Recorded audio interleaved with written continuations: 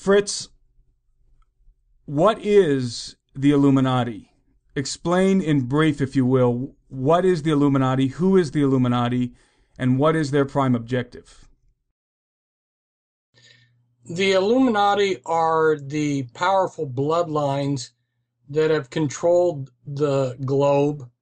Uh, they go back to Mesopotamia and ancient Egypt, and they have quietly persisted throughout the centuries.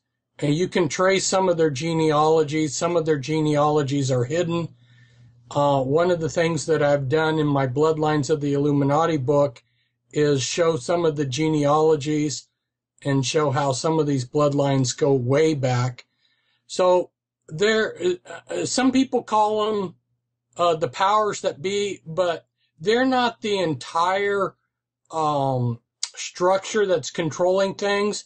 They're the string pullers, um, and they also have their own religion, which is Gnosticism, and they're generational. Um, so if you're born if if you're born into an Illuminati family, you may or may not actually become a member. Um, and you may or may not become a hierarchy member. So, uh, uh, you know, but, uh, it, it's generational. And, um, really after working with people that had come, that were trying to come out of the Illuminati that I was trying to help, uh, and getting to understand the rituals that they performed, uh, it's not an exaggeration to say that these are generational satanic families. Right. What is the modus operandi of the Illuminati? How do they operate? How do they normally infiltrate an organization, an institution? How do they go about doing that?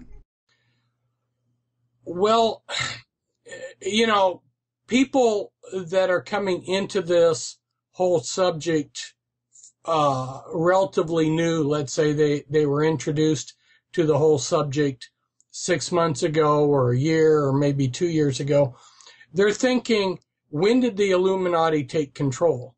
But the actual uh, reality of it all is they are the ones that have constructed our world system of systems. So our educational system, our pharmaceutical system, um, the the medical uh, health industry, uh, all these different uh, things like the market, you know, uh, the New York Stock Exchange, exchanges around the world, all these various systems were created by them. So it's not so much a, a, an the, the cons. It, it's it's really not the concept that they have infiltrated and hijacked these. They created them.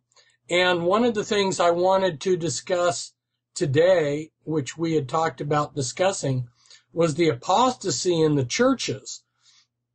And uh, when we, getting back to your, this pertains to your question, you know, if you start looking at all these different religious groups, Jehovah's Witnesses, uh, the LDS Mormons, the Primitive Methodists, the Adventists, um, Moravians, and you just start going down a long list of of denominations, Christian groups, you'll see that Freemasons, a lot of times Freemasons that connect back in to the Illuminati, created these organizations, like uh, Joseph Smith Jr., who created the LDS Mormons, he was of this Illuminati bloodline, and all of the leadership, the they call them prophets, they're presidents of the LDS Church, have been of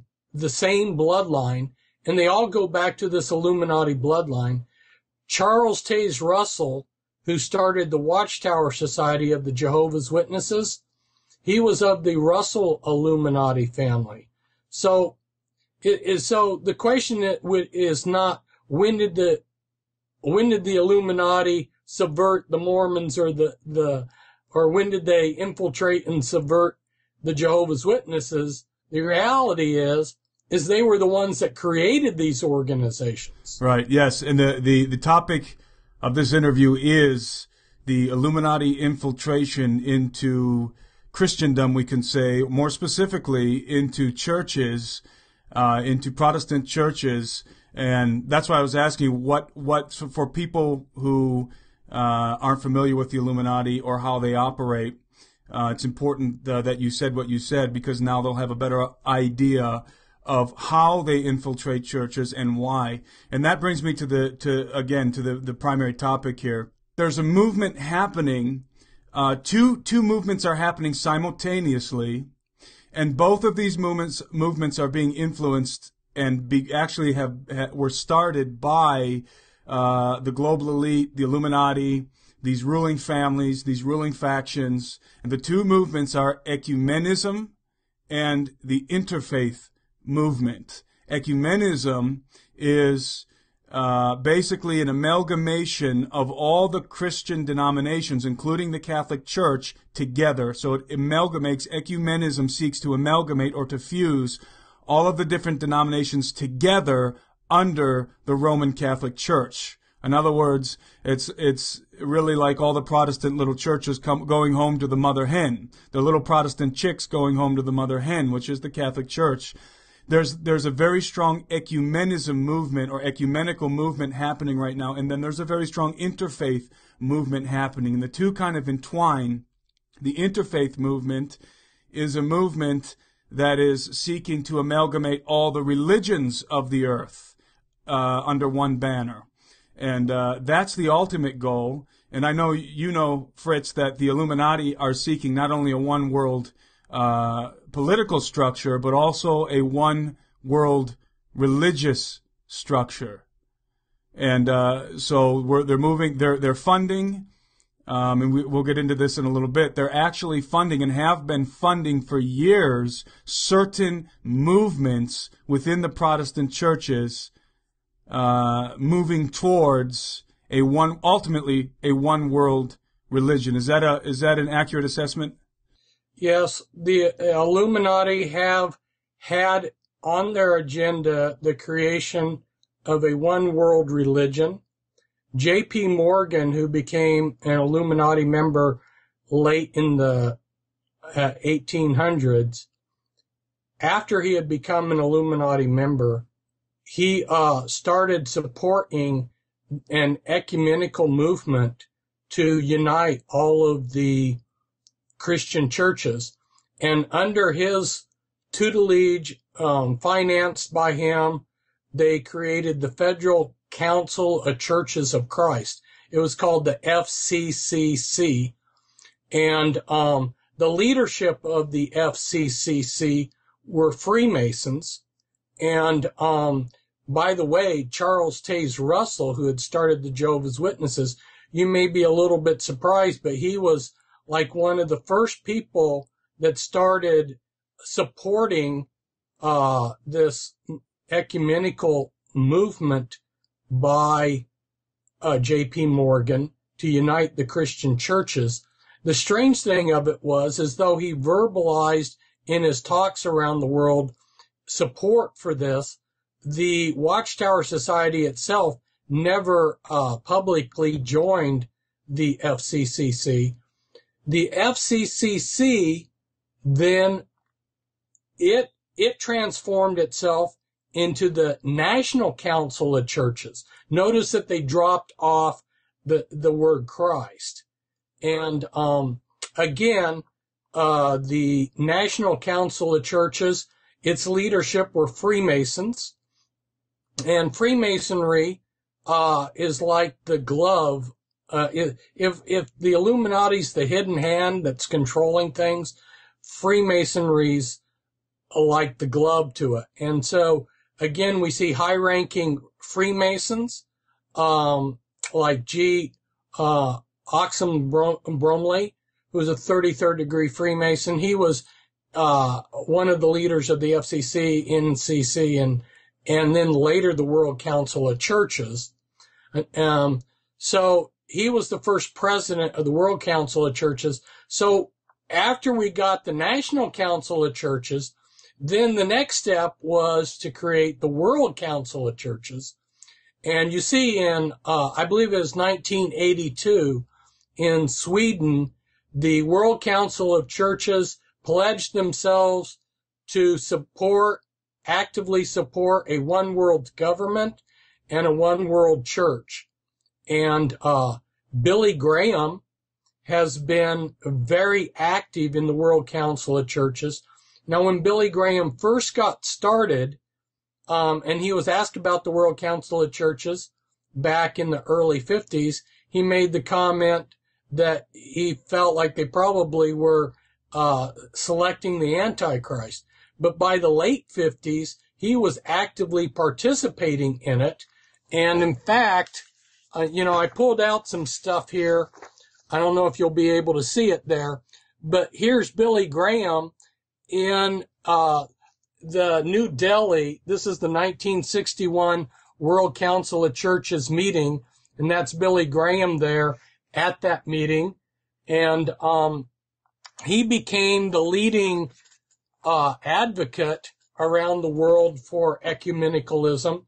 Uh, he himself is a 33rd degree Freemason, and uh, this is this is a, a book, The Clergy and the Craft, written by uh, Reverend Haggard, who's also a Freemason, and uh, in here in his book uh, on on Freemasonry, uh, he quotes Billy Graham, and uh, Billy Graham. And and when I read this book, I noticed that everybody in here that he quotes is are Freemasons, right? But the the Masonic lodges kept Billy Graham's uh, membership secret. Although some Freemasons, not knowing who I was, have told me, gloated and bragged that Billy Graham was a Freemason. In fact, I talked with Jim Shaw, who's the highest ranking Freemason to defect from Freemasonry. Is a 33rd degree Freemason and he left, he, he, he gave his life to Christ and left Freemasonry. And I talked with him on a number of occasions. Billy Graham was at his 33rd degree initiation ceremony in Washington, D.C. And, uh, although I don't have it here to, to show to you, but I mean, uh, I can, I can just simply say what it says. The Scottish Rite magazine that I, I have boxes of, of Masonic literature and books and magazines. And in one of them, it talked about the 33rd degree initiation ceremony and how only 33rd degree Freemasons are allowed to attend. So the fact that Billy Graham was attending his initiation ceremony, his 33rd degree initiation ceremony shows that Billy Graham himself is a 33rd degree Freemason. And here in this book by this Freemason, they quote uh, Billy Graham. They say Dr. Billy Graham said, uh, and he's talking about the Order of DeMolay, which is the Masonic order for young people. He's saying, um, there are the young people upon which the hope of America's future rests and DeMolays are part of this group. May God richly bless all DeMolays as they continue their good work. So there's Billy Graham uh, bragging or saying that God's work is going to be done by the Order of DeMolay, which uh, you know is named after Jacques de Molay, who was the head of the um, the Knights Templars, which you know Jacques de Molay was was killed on Friday the 13th. It was kind of interesting here in in in Portland. They have a, uh, the Billy Graham people. This is the Billy Graham Crusade here. You see the Billy Graham Crusade people. They gave out this this certificate for women. And when is it redeemed? Friday the 13th. I just thought it was really coincidence that, uh, you know, Jacques de Molay, who was killed on Friday the 13th. Um, and then they, they give this, the Billy Graham Crusade gives the certificate that's, that can be redeemed that day. Interesting. But anyway, uh, there's, there's three major, I, I, there, there's many more, but three major Christian clergymen come to my mind that are, are very powerful in America that are 33rd degree Freemasons. You have Norman Vincent Peale, who was a 33rd degree Freemason. You had Robert Schuller, who was a 33rd degree Freemason, and Billy Graham, who was a 33rd degree Freemason. And all of those men have promoted this ecumenicalism, especially Billy Graham. And he's, he, he's been very active in the World Council of Churches. Now, if we go back and, and look, who are the members, who are the leadership of the World Council of Churches, you, you see people that are, are diametrically opposed. They're apostates. They're, these are people that, um, are Communist Party members, that are high ranking Freemasons, socialists, you know, Illuminati members. We're, we're looking at, we're looking at something that's, that's diametrically opposed to Christ. And, um, the, the convergence, uh, needs to include the Catholic Church. So, you know, you'll notice that, uh, Billy Graham is very, uh, um, what, what's the word I'm looking for? He's, he's very active with the Catholic Church you know, he got his honorary doctorate. Here's the Catholic Church um, bestowing this on him, and the uh, and and then this is a newspaper article here where the Archbishop endorses Billy Graham, and I know that uh, his crusade doesn't tell the truth because Billy Graham has been very active in supporting the Catholic Church. Like when he went to Poland and he did his crusade, if you came forward, you were sent to a Catholic church. And, um, another time he went to, uh, Poland, uh, he, uh, spoke in Catholic churches and he told them that they were already Christians. He didn't say that they needed Christ or salvation. He was saying, you are, you already have Christ. You're already Christians. In other words, here's a, here's somebody who's a Protestant acknowledging the Catholics as being a, a totally okay. And, um, this is, this is what ecumenicalism is about, is the merging of all these different churches. Why was there a reformation? People need to ask themselves, why did, why did a reformation occur? Why was the Catholic Church's power challenged? And what were the issues there? Now, I'm not saying that the Protestants are are uh, uh, don't have problems.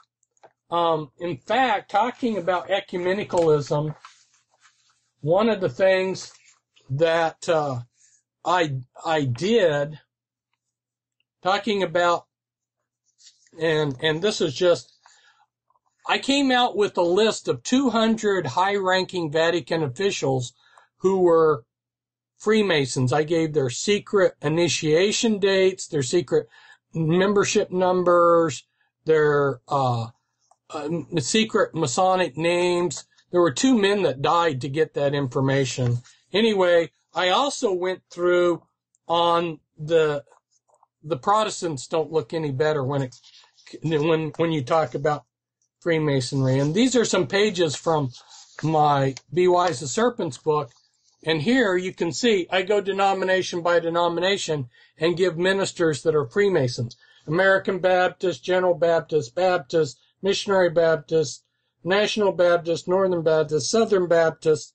You know, Southern Baptist is the largest denomination within the Protestants and 65% of their ministers are Freemasons.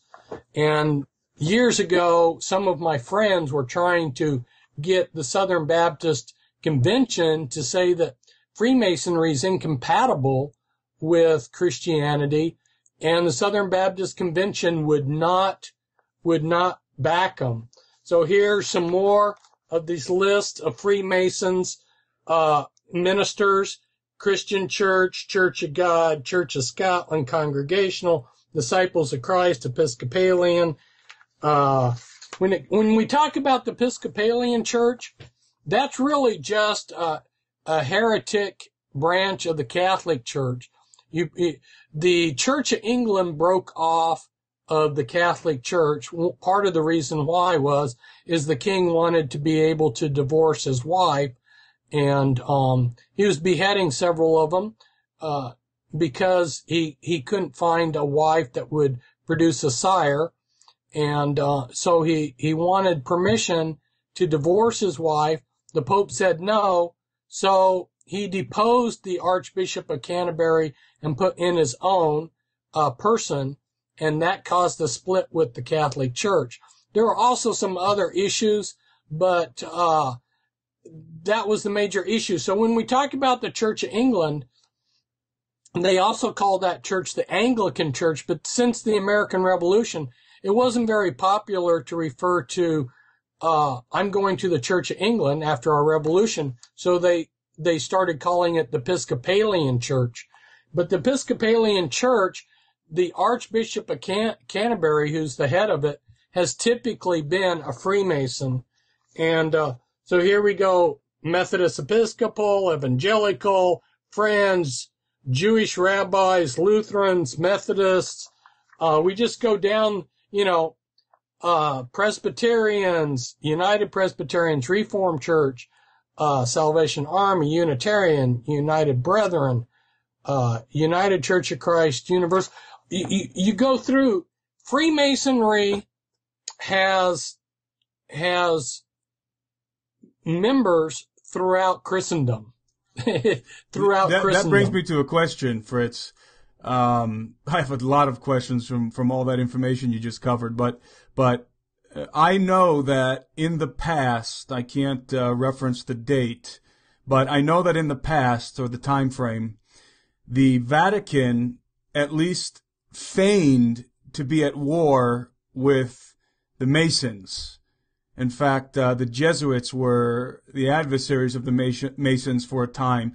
But now I understand, and correct me if I'm wrong, but something had happened within the Vatican uh, some years back to where there was either some kind of a Masonic takeover or an Illuminati infiltration that changed all of that. What is the relationship at this point in time between the Vatican and the Illuminati slash Masons? Good question. What is the relationship between the Catholic Church and Freemasonry?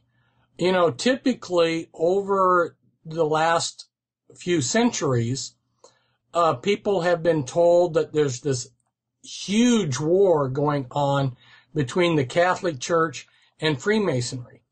Now, going back to an earlier question that you had asked, how does the Illuminati operate? Well, one of their major tactics is to use controlled conflict. It's called Hegelian dialectics. They'll, they'll create a thesis, an antithesis, and a synthesis. So this whole thing between Freemasonry and the Catholic Church, or going back even before that, we have the Knights Templars in the Catholic Church, is really a controlled conflict. Now, one of the things that I did in my Be Wise as Serpents book was I discussed how there were powerful families.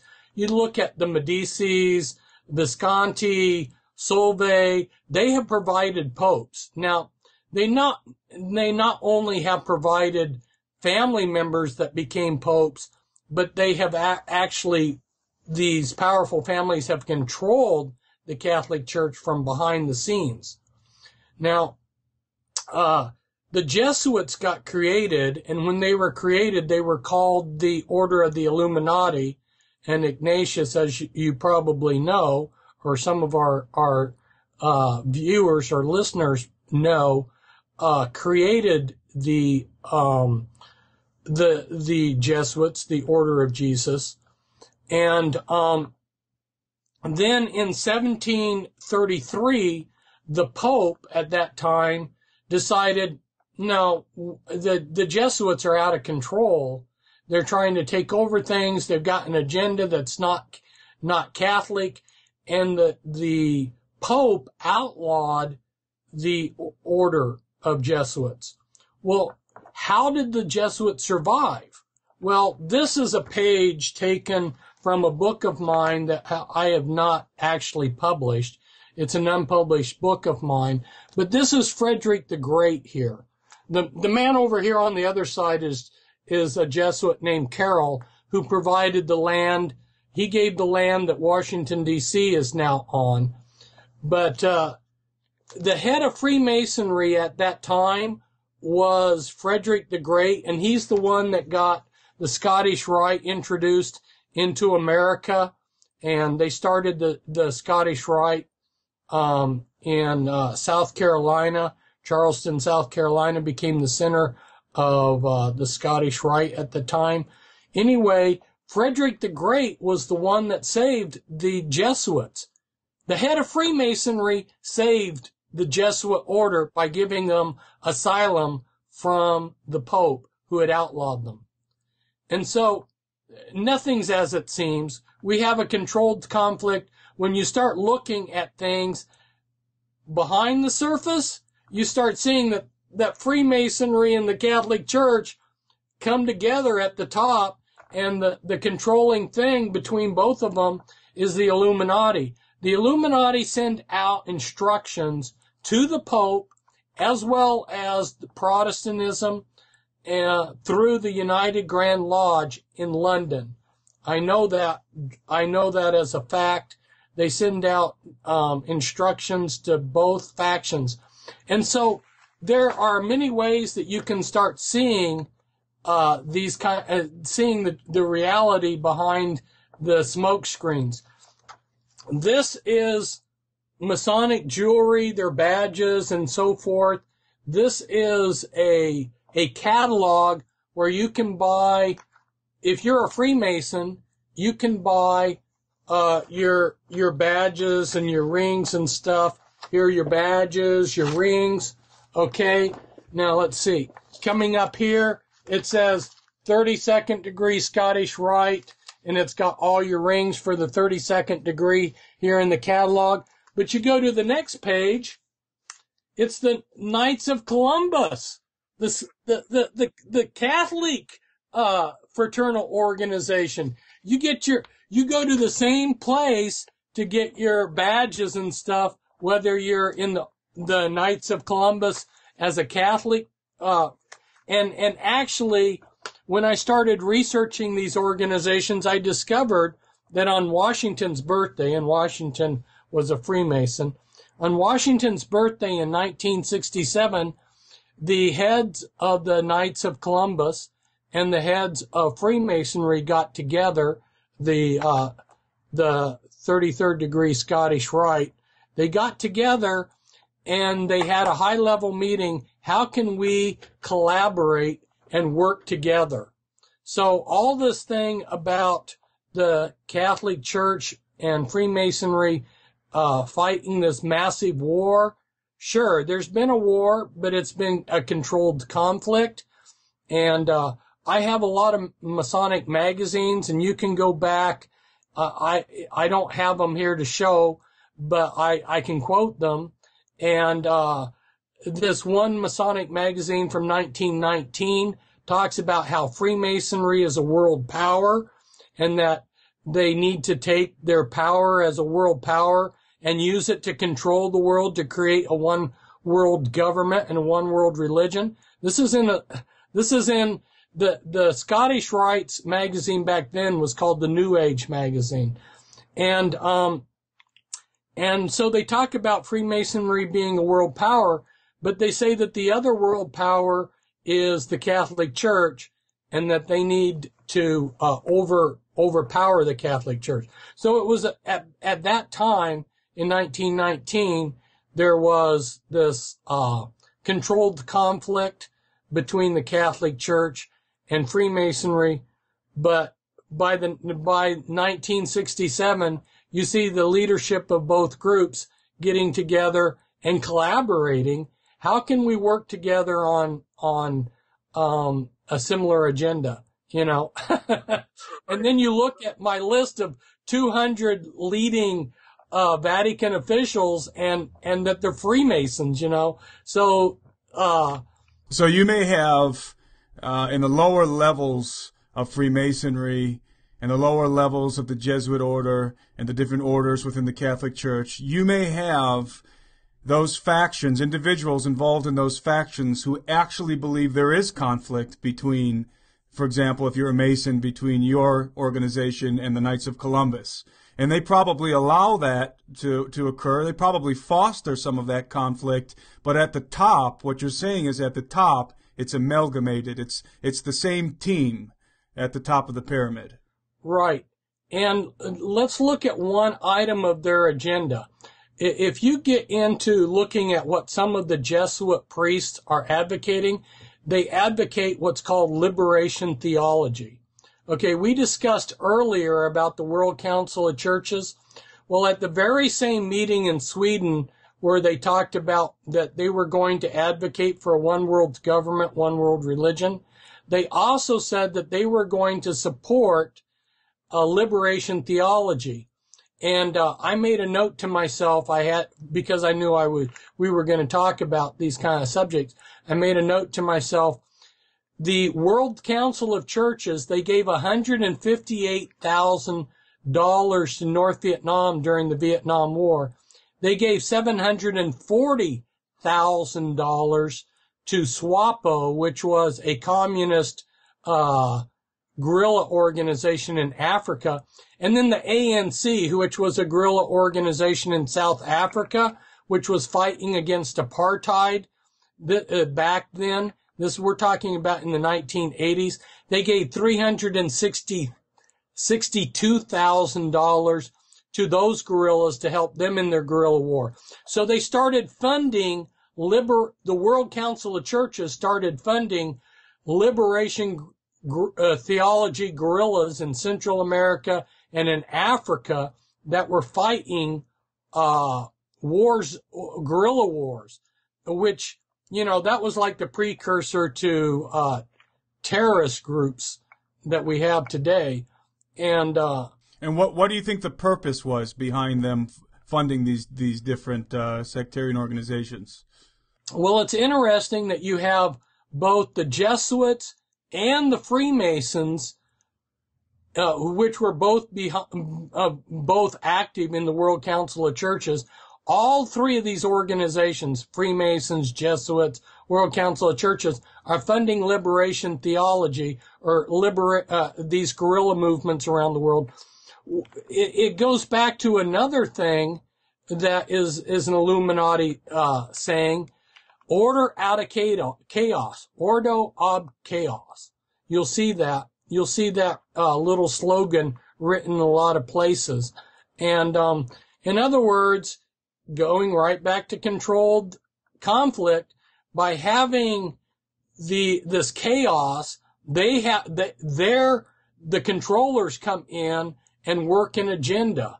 It's uh, it, it's the thesis, antithesis, and the synthesis.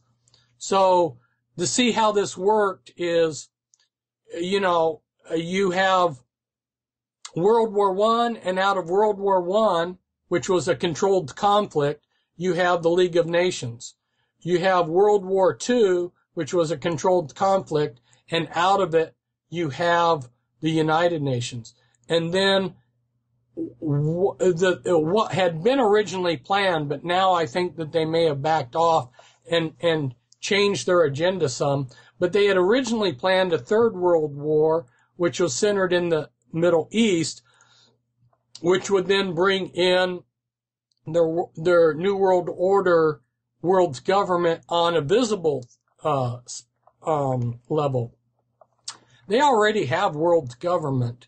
Um, but the to bring it in visibly where we ask them to bring it in is is another thing. And so going back to um, J.P. Morgan, remember I talked about how he was Illuminati and he he funded the FCCC, the Federal Council of, uh, of Churches of Christ. Well, the Federal Council of Churches of Christ was calling for a League of Nations before World War One. Before. And then because World War One took place, then people said, well, we definitely need this League of Nations. So you can see them bringing in their agenda. Now going back to the National Council of Churches and the World Council of Churches and how they integrate in with the Illuminati, John Foster Dulles, whose brother Allen Dulles was head of the, he was, he was prominent in the OSS as well as then the, the, uh, CIA, which was created after the OSS was terminated, the it, it, picked up again as the CIA, and Allen Dulles was the DCI, the head of, of it, and his brother John Foster Dulles was the secretary of the FCCC, and he was very important also in, in the National Council of Churches and also in the World Council of Churches. So where I'm going with this is is the CIA and the Illuminati were very active in all of those those ecumenical organizations. And how does this how does this affect us on the local level? Well, you uh, I'll give you an example. You know, let's say you have this little uh, Church of Christ out here, and this little Church of Christ says, "We are the true believers because we believe that you're saved by baptism and we don't believe in musical instruments. And all these other churches believe in musical instruments. That uh, you know, we don't believe in the Catholic Church, and you're saved by your your water baptism. Okay, well, uh, people that aren't into that would say, well, that's really cultish, you know. But the thing of it is, is when you have someone like the Billy Graham come here, every church in southern Washington and northern Oregon supported the Billy Graham crusade. Even churches of Christ like that. And here they are supporting basically an ecumenical movement because the Catholic Church was very active in the Billy Graham crusade here in Portland. Now, because I was trying to expose the Billy Graham crusade and the ecumenicalism of it, uh, I and someone else, we confronted the Billy Graham crusade staff. They said, you're going to send, we said, you are going to send people to Catholic churches that come forward in your crusade here in Portland. And they, they lied right to our face. We got it on tape recorder. We, we taped it they said, no, we will not send people forward, or we will not send people to Catholic churches that come forward at the crusade, right? That's what they told us. We taped it.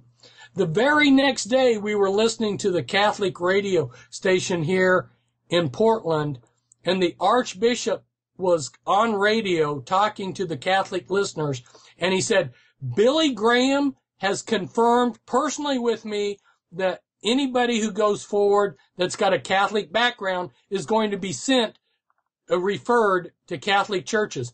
So right there, the very next day, we heard proof that the Billy Graham Crusade people had lied to us. But what's interesting is, is here all of these little denominations that would have nothing to do with the Catholic Church are, are, are uni- joining it and, and all other kinds of churches. Like I say, there was only there was only one church in all of southern Washington and and uh, northern Port, uh, northern Oregon that didn't participate in the Billy Graham, Graham Crusade. Only one church. So talk about ecumenicalism. Yeah, that's been a policy. That's been a policy of the Billy Graham Crusades for, for at least 50 years because I have a quote here from 1952 in an interview with the Pittsburgh Sun Telegraph. Billy Graham said, Many of the people who reach a decision for Christ at our meetings have joined the Catholic Church, and we have received commendations from Catholic publications for the revived interest in their church following our campaigns. This, this happened both in Boston and Washington. After all, one of our prime purposes is to help the churches in a community. If after we move on, the local churches do not feel the efforts of these meetings in increased membership and attendance, then our crusade would have to be considered a failure. Then in 1957, he said in an interview with the San Francisco News, he said, anyone who makes a decision at our meetings is seen later and referred to a local clergyman, Protestant, Catholic, or Jewish. So basically what Billy Graham is saying in these statements that he made publicly to the press is that he considers the Catholic Church, Roman Catholicism, to be a legitimate part of the body of Christ. He also considers according to this statement, or at least we can derive from this statement, that he believes that the traditional Jewish faith, which rejects Jesus, somehow is also a part of the body of Christ because he's fine with sending converts to uh, Jewish synagogues. If I'm reading that, if that, if I'm reading that, if I'm interpreting that quote correctly. Yes. So, so that's that's where this is really heading towards. And people, of course, will come out and say that the, the great argument that people have and the the the uh, uh, the the the primary problem that, that, that people run into, that Christians run run into with these guys, is they say, "But so and so got saved in their ministry," or "I know a person who went and received Jesus, who accepted Christ at a Billy Graham crusade," or uh, "These people are having a, a, a very uh, wide effect on the world, a very uh, significant effect on the world for the gospel. But the problem is that you cannot measure uh, where a man stands biblically according to the effect that they're having in the world. You can't uh, ascertain if what is being preached is the true gospel of Jesus Christ according to unity and peace. After all, in the uh, last days, the the the book of Revelation says that people will be saying peace and safety before destruction comes.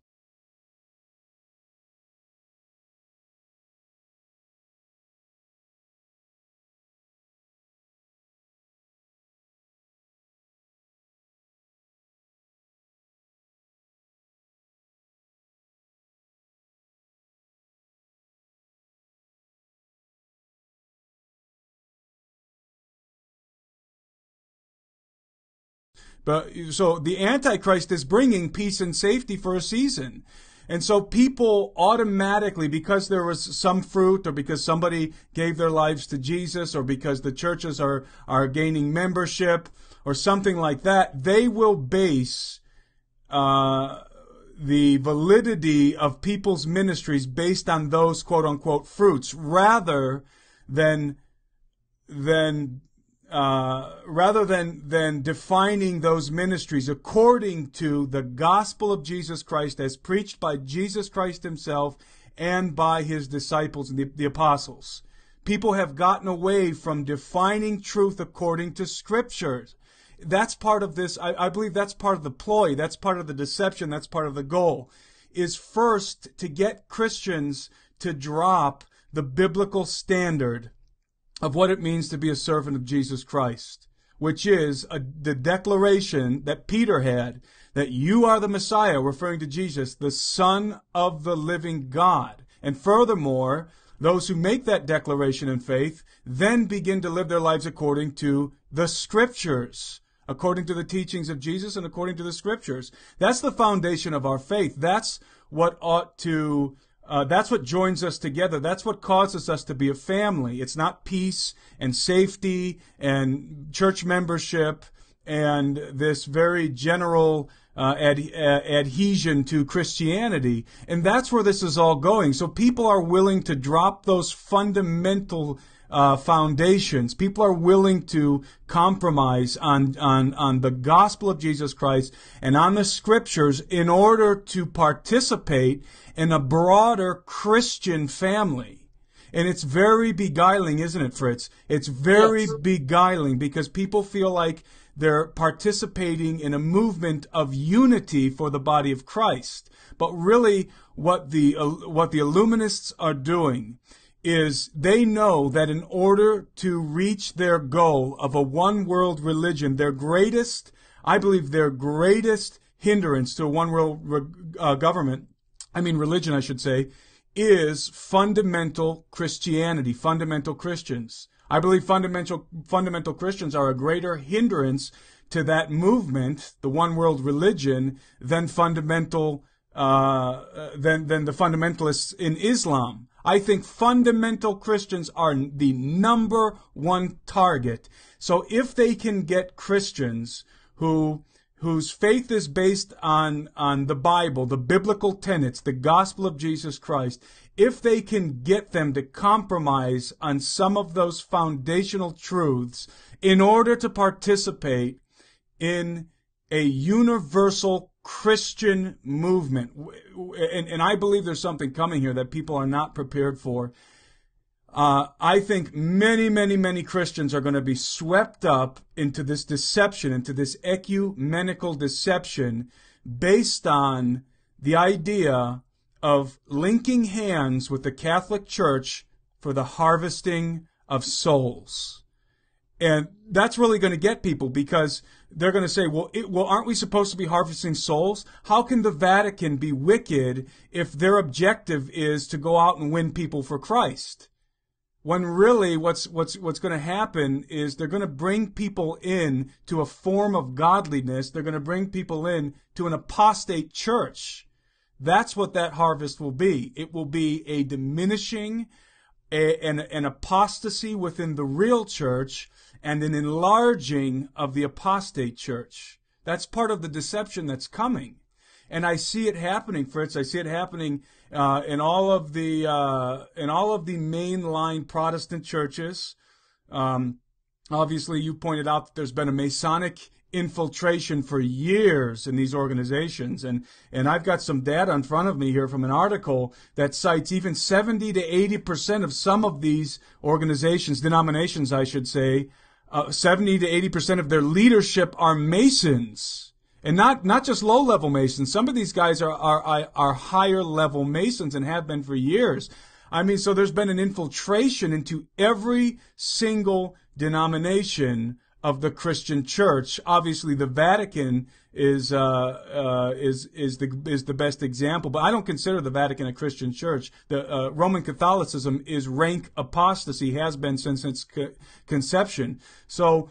Uh, I, am seeing this especially, and I, and I want to talk about uh, for a moment, Fritz, the charismatic movement, because I see a lot of charismatic churches I came out of a charismatic church, and I'm not against the charismatics, by the way, but I see a very interesting thing happening among the charismatic churches. There is this, there is this call for the harvesting of a billion souls right now. I don't know if you're familiar with that.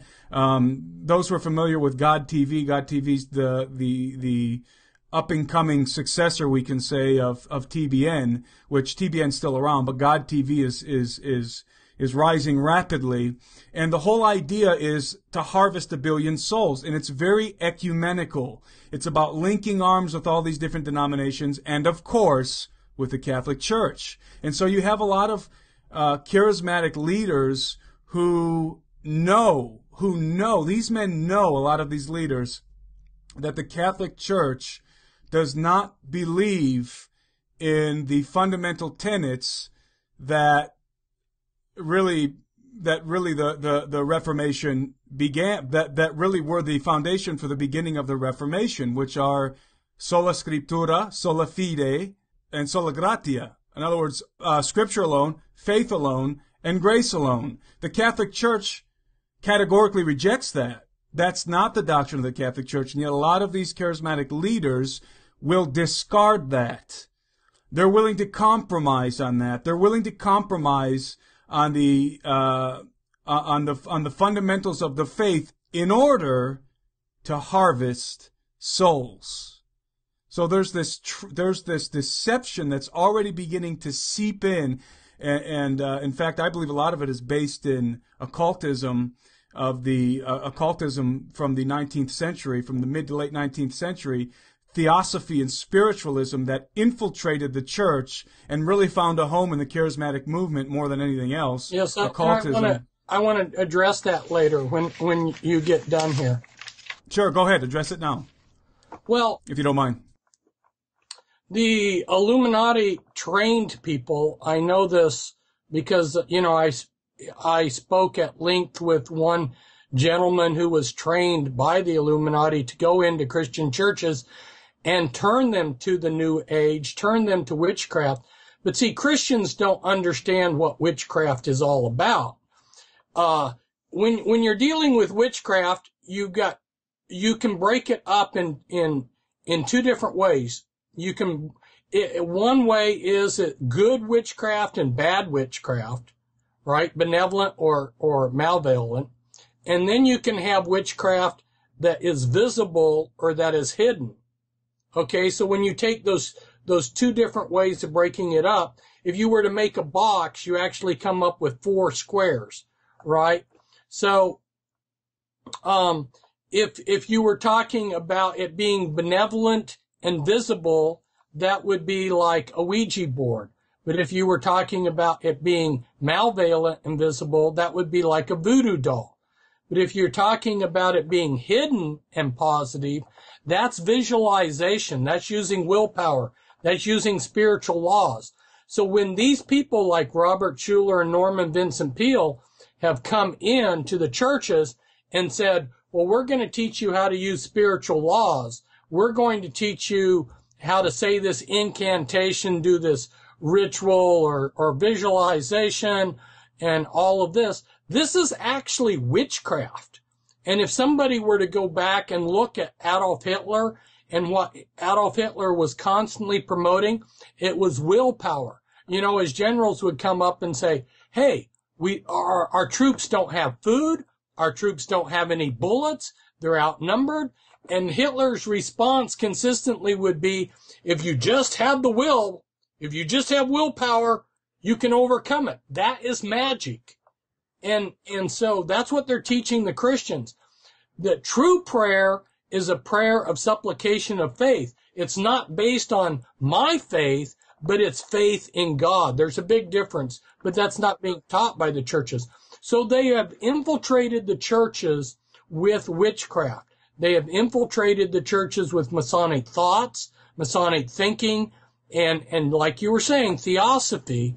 Um, and, and uh, I think it's important uh, for us, if I can interrupt your flow here, I wanted to take us back to the listeners to, to think about what is apostasy, because we've been talking about apostasy. Listeners need to understand apostasy is both not believing the important fundamental doctrines, but also not doing the important things. So uh, going back to some of the things that you were talking about, they need to understand that that Christ was born of a virgin. Why? Why would it be Im- important that he was born of a virgin? Because he had to have been uh, born through the Holy Spirit to be something special. If you as a man died for my sins, you don't have your blood doesn't isn't special. You can't die for my sins. You know, Christ had to be someone special. His blood had to be special, so special that in shedding it, he paid the price for all of humanity. Exactly. So that virgin birth is very important, but these uh, Bible translations that are called satanic Bible uh, uh, translations or perversions, which the modern churches are using, they have erased the virgin birth out. You know, uh, so there are some fundamental uh, doctrines like the resurrection of Christ that are very important. Going back, you know, I talked about the Jehovah's Witnesses. And a lot of people would think that I'm splitting hairs, but the Bible talks about the resurrection of Christ, and the resurrection of Christ is a foundation of hope for us if Christ was not resurrected, then we're, we're, our religion or our faith is lame. Exactly. And so the resurrection is an extremely important thing. Now you look at the Jehovah's Witnesses. What do the Jehovah's Witnesses believe? Well, they believe that God will remember who we were and recreate us. But First Corinthians talks any other men on the about how Paul says. something of us, and as you know, just one little single cell from your body has all the DNA plans to create who you are. It says in the in the scriptures that God's going to take something of each of our physical bodies as a seed to our our resurrected spiritual bodies. So there's going to be some some little seed continuity between the two. It's not a recreation, it's a resurrection. There's a big difference there, but but uh the Jehovah's Witnesses think excuse me that God's merely going to recreate you. Well, uh, see these little things are major. They may seem like they're not important, but they're major. Um, you know, Christ said, "I am the way, the truth, and the life." You know, no man comes to the Father except through me. So if we accept the World Council of Churches and their mission to bring in all these other religions, all these other ways, if there's another way to the Father, like Billy Graham is saying, there's another way to the Father because you can be Jewish and, and be saved. If there's another way to the Father except be, besides Christ, then we're making Christ out to be a liar.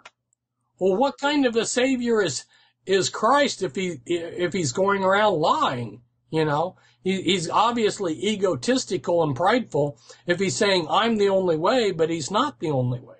So these are fundamentals, and apostasy is when we don't believe in those fundamentals and we don't do the fundamental things. What does it say? Or, or, or it says, love not the world, you know, or the things in the world. So if we go about loving the world, and obviously Billy Graham loves the world, I watched him on, on television one time talking about, I think he said, if I remember the number, it was 119 games of golf he's played with Richard Nixon. And I thought to myself, what? How much time do, and, and energy does it take to play over a hundred games of golf with R- Richard Nixon, not to mention all the other presidents that he's hobnobbed with.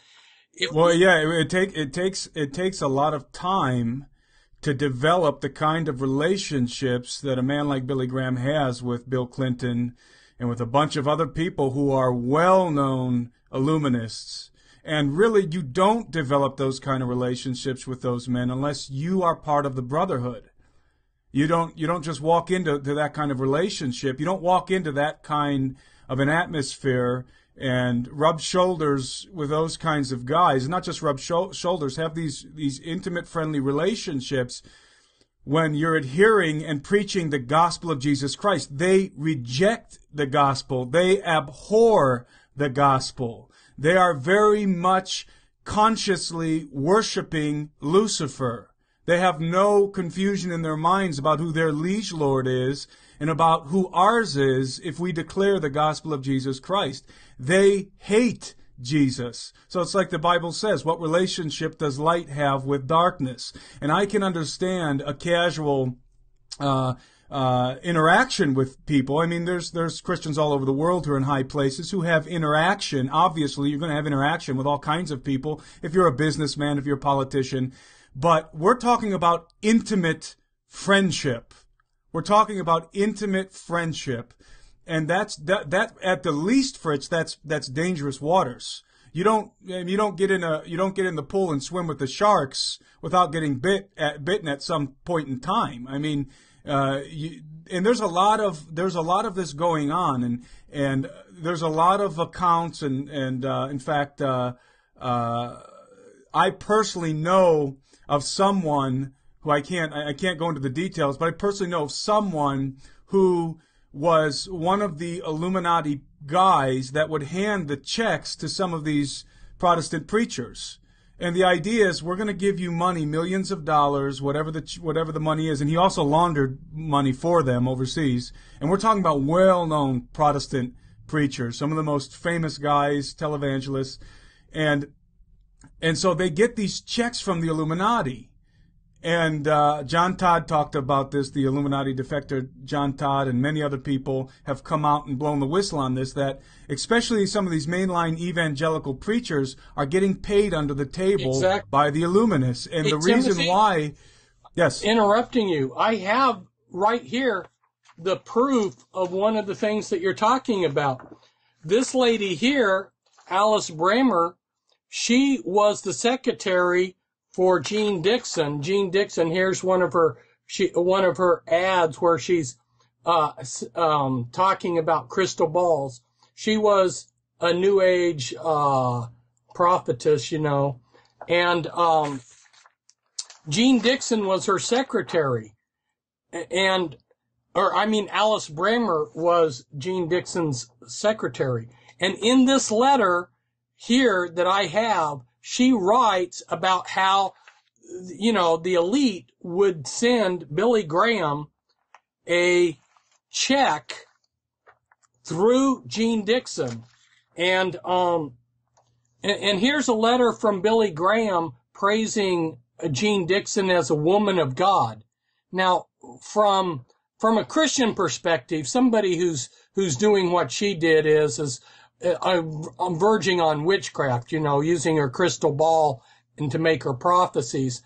But but this this is this is exactly what you're talking about. He got a check from the Illuminati through Jeane Dixon on a regular basis, and um and here's his letter to her. You know, um, you are indeed a woman of God. You know, and we do thank God for you. This is the way Billy Graham in his letter is talking to her. So yeah, you know, you were saying you you you knew of this firsthand, and you're right. This is the kind of stuff that I have had people tell me about. I was just fortunate to get the proof in this particular instance because a lot of this is done under the table where it's hard to prove. So, Fritz, what are your thoughts on the infiltration of the Illuminati into the charismatic movement? Well, I'm going to preface my answer by saying we need to understand what the scriptures tell us about the the the end times. it says in Second Thessalonians that there would be this great apostasy before Christ would come back. You know, and Christ said, uh, "When I return, will I even find anybody who has faith?" And I, it was a sincere question because uh, it's going to be hard to find a man of faith, a true man of faith. And then when his disciples, which is recorded in Matthew 24, said, well, what will be the signs of your return? He said, there will be people that will come in my name. There will be all these false Christs and so forth. So we have to, we have to take the, what the, the warning of the scripture to heart and realize that the scripture tells us that there's going to be a general apostasy. So don't become discouraged. Uh, I don't want the listeners to become discouraged and say, well, boy, if I believe what Fritz is saying, there aren't any good churches. Well, basically that's true. The, the safest place is going to be, as far as spiritual nourishment, is going to be some small home church with dedicated uh, followers of Christ. If you, if you're going to go to these 501c3 mainstream churches, you're going to be mixing with apostasy. And um, so taking that as as um, an introduction, uh, let's look at this charismatic movement, which, as you were saying earlier, you know, uh, one of the the litmus tests for it is how they view the the hierarchy of the Catholic Church, especially the Pope. And the charismatic movement uh, has been very ecumenical. And uh, you you look at people like Benny Hinn, um, they're very uh, pro-Catholic, and there's a lot of interaction between uh, people, uh, the the the big wigs of of TBN and uh, the Catholic Church. and I, you know, Benny Hinn is, is an example of a good example of Trinity Broadcast Network. You know, in 99, he was telling people you're not going to survive the year 2000 unless you double your giving. And, um, in, in 1989, he's prophesying that there's going to be this huge earthquake that's going to wipe out the East Coast. You know, people need to ask themselves, well, what kind of man is this that's making all these false prophecies? And, you know, and he's got such a, supposedly got such a strong anointing and he, he warns his, his critics, don't touch the anointing, you know. Um, but, uh, I, I thought a good example, cause I thought you might ask about the, uh, about the, uh, I thought you might ask this question about the charismatics. And so um, I, I got a bio, biography information on one of the ministers that I think shows how it all connects. Reverend E.V. Hill, he, uh, he went to, um, eh, there in Tulsa. He, he was, um, uh, the, uh, what was the, the name of the, the school there in Tulsa? Um, that uh, he got his uh, ministry from, Oral Roberts University. That's what I'm trying to say. And he's been active in TBN.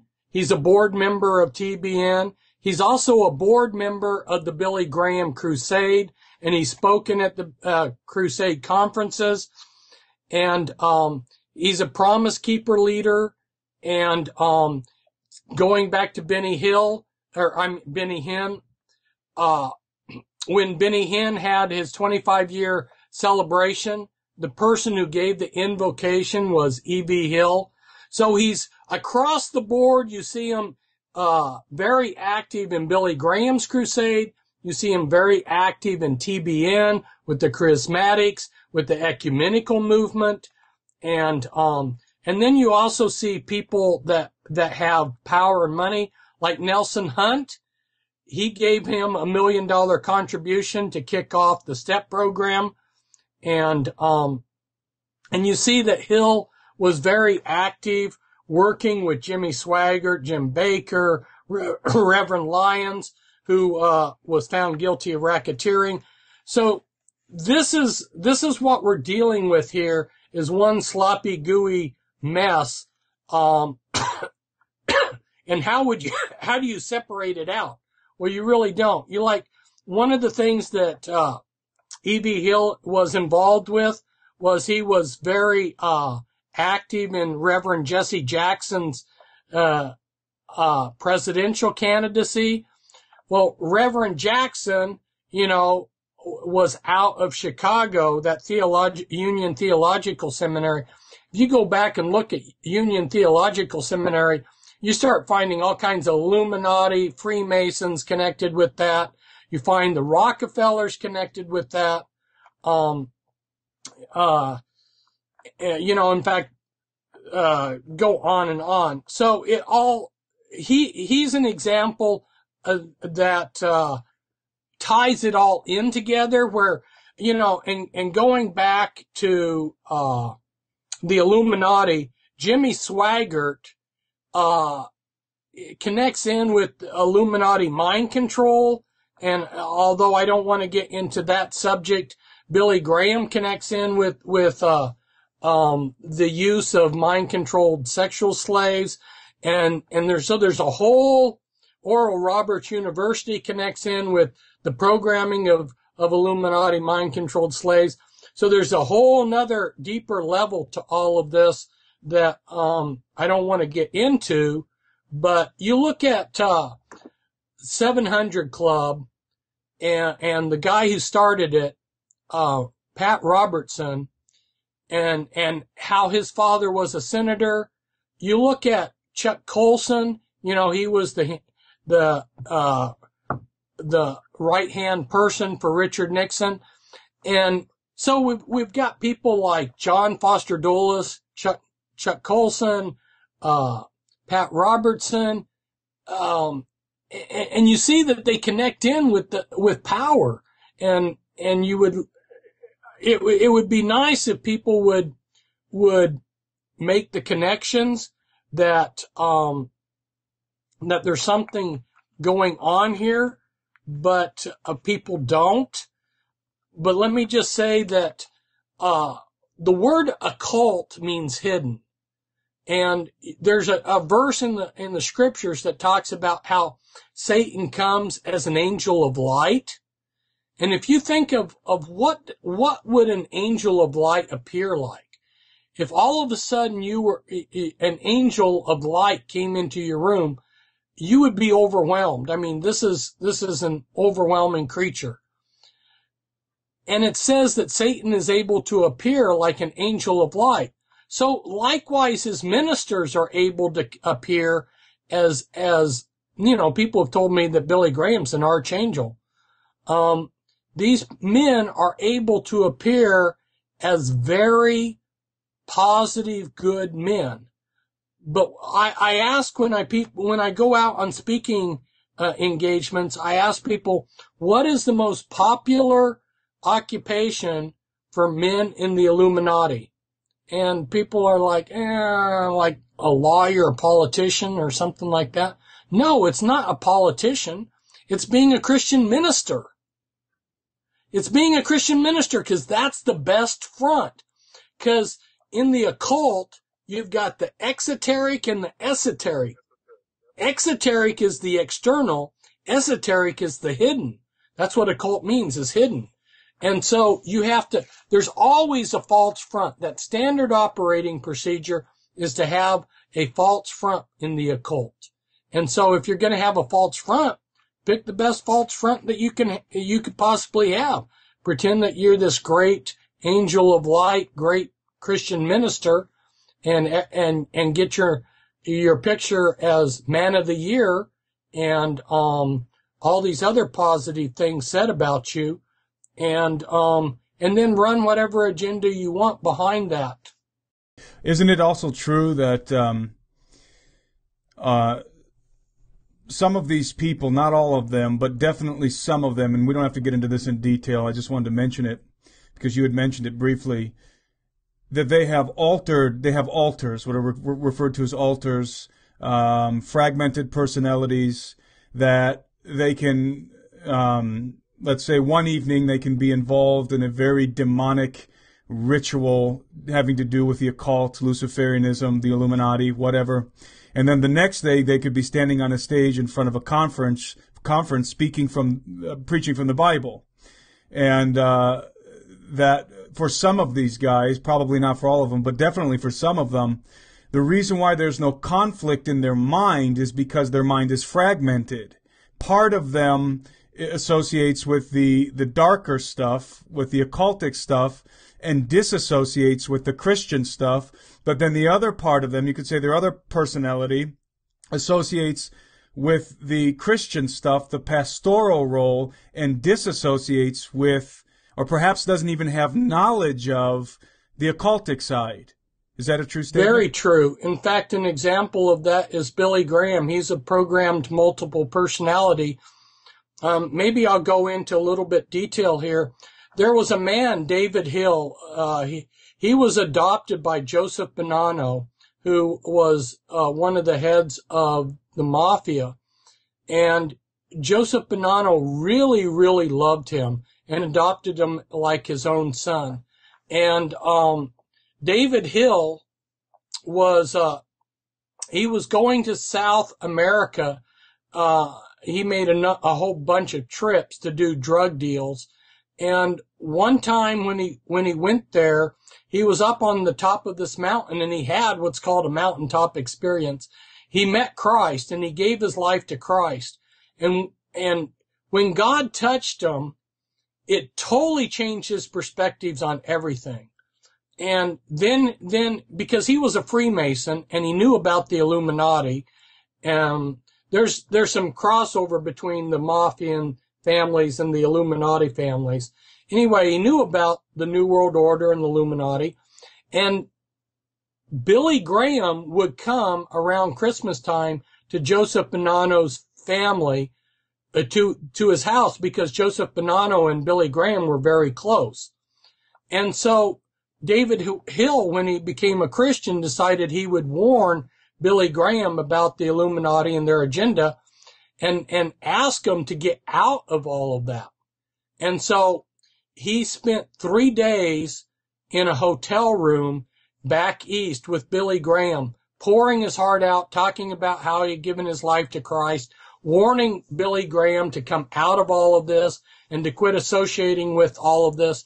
And at the end of three days, David Hill told me that Billy Graham told him that he he was captive of the Illuminati. They had him blackmailed. They had him, you know, by the kahunas. He couldn't he couldn't leave uh, there and, and and he couldn't quit doing their agenda if he wanted to. Um, now David Hill decided that he was going to expose all of this and he wrote a book and he sent me a manuscript of what he was writing.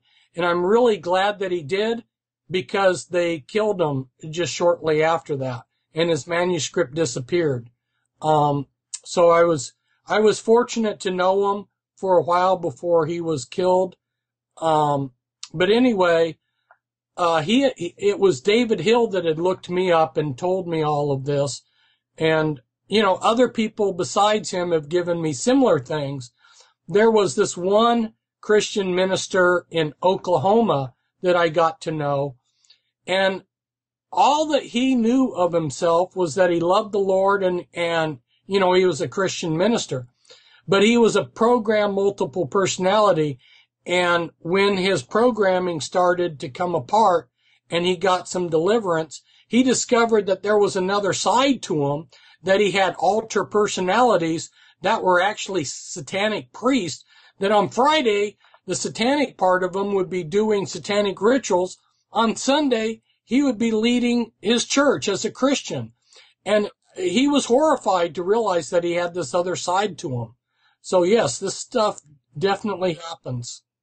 And that and that I think clears up some of the confusion for people. How can these men be so duplicitous and double-minded? Well, it's because they are literally double-minded. Uh, the there is uh, again we don't have to go into detail into this, but uh, but the Illuminati programming is so efficient that they can actually split your personalities again into disassociated persons that have no idea what the other personalities are involved in. And it's important for people to understand that, Fritz. Again, we don't have to break that down. Uh, that you, you're on plenty of YouTube videos talking about that stuff. People can look you up. Um, but it's important for people to understand that because if you don't understand that element, it's really difficult as a human being to imagine another human being able being able to live such a farce. It almost seems impossible, doesn't it? Yes. Until you add in the the Illuminati programming factor. If you add that piece of the puzzle in, it all comes together. So can you have a minister who is on Sunday morning, uh, let's say this, a minister who's, who Saturday night is involved in animal sacrifice wearing a black hood, chanting some Luciferian incantation, and on the next Sunday morning, standing at a pulpit preaching from the scriptures sincerely, is that possible? The answer is yes. Yes. That is possible. You know, and I mentioned Robert Schuller being a 33rd degree Freemason. And a witness at Unity Village talked about how he had done, how Robert Schuller had led a Luciferian ritual. You know, and, and when we get into Freemasonry, you know, when I have interacted with Freemasons, uh, repeatedly they've just blatantly lied to my face as if I was an idiot. And um, this one Freemason who went to the church that I was a member of, when I was in his house, there was a magazine with Albert Pike's picture on it, and I mentioned, "Oh, Albert Pike, uh, uh one of the leading Freemasons," and he said, "What are you talking about? There's never been any Freemason by the name of Albert Pike. Here it is, right there on his magazine, you know." And he just starts telling me a bunch of lies. Well, I have a brochure that I got from the Freemasons which which is for the profane people, us people, telling us that Albert Pike is not an important person, right? But the reason why I want to talk about Albert Pike is when you read his Morals and Dogma, he says that the energy behind the Masonic Lodge comes from Lucifer. And Albert Pike was a Luciferian. And so, um, Yes, the seething powers of Lucifer, I think is how exactly. so, how he describes so it. I have some, I I have some quotes, like when I was in high school in, in debate class, we would read, we would read quotes. So I wanted to read some quotes here because, uh, Albert Pike, like, like you and I just said, in his book, Morals and Dogma, makes it very clear that Lucifer is the power behind Freemasonry. And that book, Morals and Dogma, is, has been given to every Mason when he got to be, when he became a 32nd degree Freemason. So when the Freemasons say that nobody looks at that book, well, if nobody looks at it, why do they give it out when you become a 32nd degree Freemason? Anyway, this is from a booklet by the Supreme Council of the uh, of the world of the 33rd degree of Freemasonry. Um, in this booklet in 1970, issued in 1976 on page 29, it says General Pike is recognized as one of the greatest Masonic scholars, philosophers, and historians of all time. Among the outstanding works to his credit is the ritualistic development of the ancient and accepted Scottish Rite. Through his diversified activities and writings, he is known and revered by hundreds of thousands the world over. And then the same group, uh, the Supreme Council 33rd degree in 1988, put out another booklet for Freemasons on page 23, and it goes, Albert Pike remains today an inspiration for Masons everywhere. His great book, Morals and Dogma, endures as the most complete exposition of Scottish Rite philosophy. He will always be remembered and revered as the master builder of the Scottish Rite. So, so here we have someone, the Pope, he was called the Pope of Freemasonry, saying that Lucifer is behind Freemasonry. And then we have people like Billy Graham, uh, uh, Robert Schuller, Norman Vincent Peale, the head of the, um, Schule, uh, who was head of the, uh, Methodist Church. You have all of these, uh, leaders, uh, G. Oxnam Bromley, who was head of the World Council of Churches, who was a 33rd degree Freemason. You have all of these people and, and what are they involved with? Well, come on, people.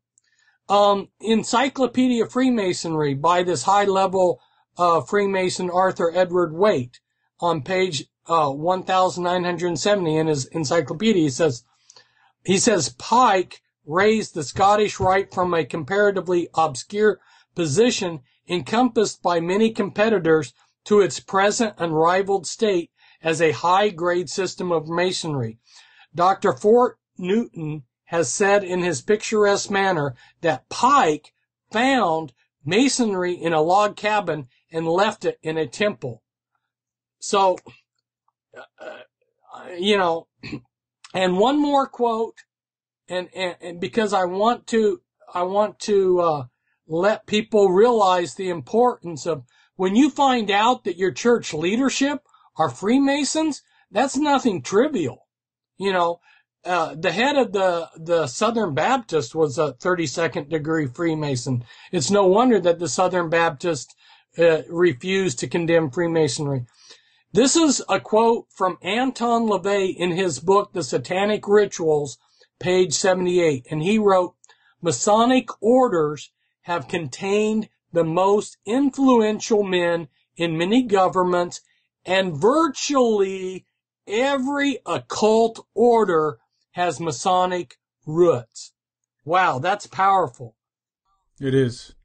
It is. You know, um, is it even possible for Christian ministers to rise to superstar status, especially televangelists, without either the the the backing of or the influence of the Illuminati. Is that even possible? No.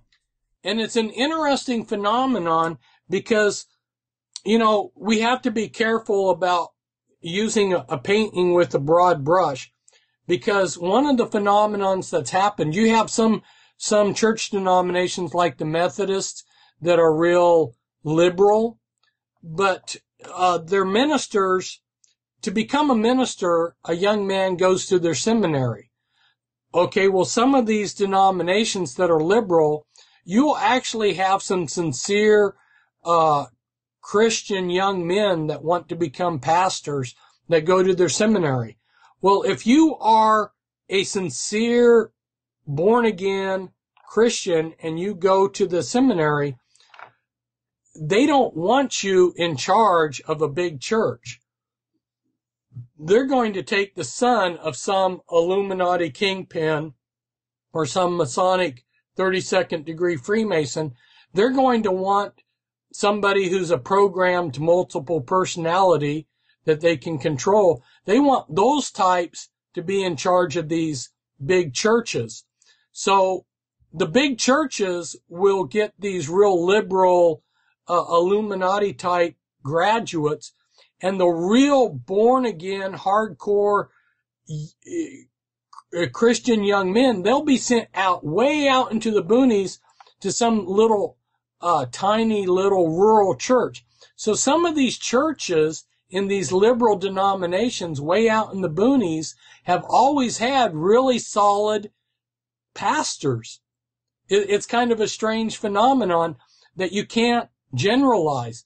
There, there are some Methodist churches that have actually had good, consistently good ministers in spite of the, the, the whole denomination being liberal. Yeah. Uh, you know, the, uh, something that I've always understood is that there's a system that exists. People really have to get this. There's a system that exists that permeates all facets of human society. That if you rise to a certain level, whether it be politics, whether it be media, whether it be religion, you're entering into the network, whether you want to or not. It's just because it's a ladder. And when you get to certain heights of those ladders, they're, they're owned. They're, they're not only infiltrated, they're just completely owned and they've been owned and taken over long ago by this shadowy group of elites.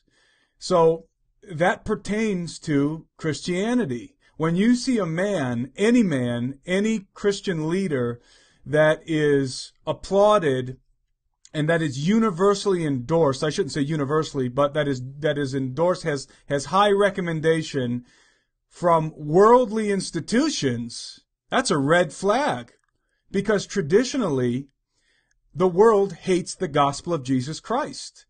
To the Greeks, it's foolishness. That's what Jesus, I mean, that's what Paul says. It's foolishness to the Greeks. The gospel's foolishness.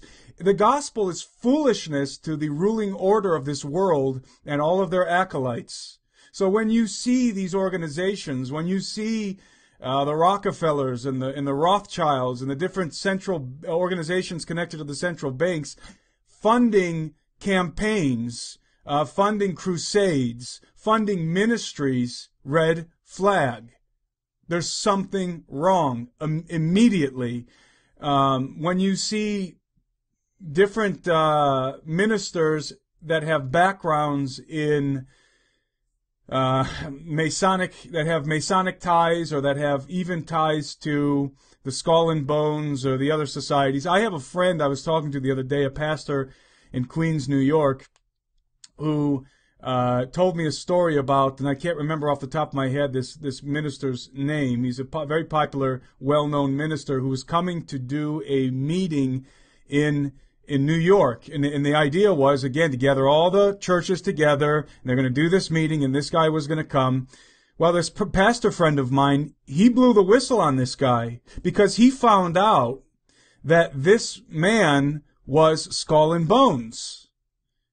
And that doesn't register with a lot of people, but for any of us who know even anything about the Illuminati, Skull and Bones is one of the most famous Illuminati organizations where they glean, where they recruit and train some of their young their young acolytes coming up to the coming up to the university. I, I forget Fritz, which uh, university is Skull and Bones Yale. associated with? Yale. So so he blew the whistle on this guy. Wait, wait a minute. This guy's Skull and Bones, and and and obviously, for for very few ministers or pastors or Christians, for very few of us, will slam on the brakes when we hear that. Wait a minute, hands off, right? That's toxic. We'll have nothing to do with it because we understand what relationship does light have with darkness. And when you talk about skull and bones, you're talking about deep, occultic, esoteric darkness. But then a lot of the people associated with this meeting uh, were questioning that. Well, who cares? What does it matter? So what that he was skull and bones? There's a disconnect. There's, uh, and to me, it's in, it's not a minor thing. This isn't an insignificant, trivial thing, as you were saying. This is a major issue this is a major issue that is literally that has literally hijacked the issue of the the the Illuminati influence and infiltration into churches. What we're talking about here has hijacked whole movements and ministries. And it's not that they hijack these ministries and these movements and, and, you know, one day it's a normal church service and then the next day the Illuminati hijacks it and it's pentagrams and black hoods. That's not the way it works. They hijack these ministries and little by little, in small increments, in small doses, they begin to change the theology. And they begin to bump certain people up the ranks. They, they begin to fund certain people. Listen, especially when it comes to the charismatic movement, if you have a lot of money, you can become a famous prophet, evangelist, apostle, if you have a lot of money and you rub shoulders with the right people, you don't have to have an anointing. That's what people don't understand. When you get launched into stardom in the in in the Christian world, especially in the Protestant Christian world, when you get launched into stardom, it's usually not the Holy Spirit that's doing that. It's the network. It's it's the uh, it's the nexus at work You've connected in. The, the person has connected in. They've plugged into the nexus. Money's flowing. Influence is flowing. They're being pushed up the ranks. And they can preach Jesus all day long. All they have to do, like you were referring to earlier, is insert little fallacies. They can preach 98% truth, but then that 2% is a damning fallacy, is a damnable lie that they insert in a, in a little leaven a little leaven ruins the whole lump, as Jesus said. Well, Timothy, yeah, there you you touched on a whole bunch of things that I could comment on. One is I'll take the last one. You mentioned leaven. It might even be a little bit more descriptive to call it a cancer. Um, Christ referred to a little leaven leaveneth the whole thing, but a little cancer kills the body, you know, because it just keeps growing. Um, one of the things that I notice because I have been in all of these denominations, I have uh, I have visited or or, or, or uh, visited uh, or been a member of a number of different denominations, um, worked with different uh, Christians, um, and so I'm and I and I did comparative study of of what the different re- religious denominations believe. So I've looked at, at them very closely. And one of the things that bothers me is not just the, the sense of apostasy, because some of these churches are actually will give lip service to the correct doctrines, but they don't give their, their people that are in the pew anything of substance. I'll, I'll give an example. I went to a congregation and this was uh, a, a, congregation of about 40 elderly, uh, no, maybe 50 elderly, uh, Christians. They were, everybody in, in the, in the congregation was white haired. And I visited with a number of them and, you know, they, I would talk, for instance, with a couple and they, they would say, we've been Christians for 40 years, you know, and, and you know, and we've had, we've had all of these uh, anniversaries and everything. These were, these were old time Christians. But the minister that got up and preached, preached on John 3.16, the most, you know, basic of, of sermons. And the people just sat there like sheeple in the pews. But I'm, I'm using this as an example of how there's so much in the Bible that will, will, will help people in dealing with the problems, all of the problems that we face. But what these churches are doing in effect is it's like sending out a soldier without training or ammunition. And what's he going to do in a war if he's not given, given training, a gun, and ammunition? He's going to be killed. And that's what the, the Billy Graham crusade does. They know that the statistics of people that come forward, most of the people that come forward in the crusades are just making decisions for Christ. They're actually, you know, deciding, well, I'm going to give up cigarettes or something. There's only a small percentage of people that are giving their life to Christ for the first time. And then they know that of those people that give their life to Christ for the first time, the majority are going to fall away. And the same thing is happening in the churches. They're not giving people the, the training and the answers to deal with the complex issues that they're going to be confronted with in the world. And, and, you know, Christ has left us in the world. We have to face these issues. And unfortunately, that's the thing that concerns me even more than the fact that they're giving false doctrines is that they're not even giving people the ability, even if they, even if they do teach them, you know, that Christ was born of a virgin, they don't teach them how to deal with the issues that they're going to, they're going to, uh, deal, have to deal with when they go to school or when they go to their job. You know, part of the, uh, the issue that's going on here and that, that, that I've noticed for years because I've been a Christian all my life. I've, I've seen and uh, have had contact with many different denominations and movements and uh, especially the charismatic movement, which again, I want to say as a disclaimer, I'm not against the charismatic movement at all. I just know that on every level, and I want people to hear me, on every level of Christianity, starting at the Vatican, working all the way down to the um, uh, through through the uh, Protestant churches, all the way to the non-denominational ch- church, uh, non-denominational churches. Every single level has been infiltrated. So I'm not here picking on one denomination. There is a universal infiltration.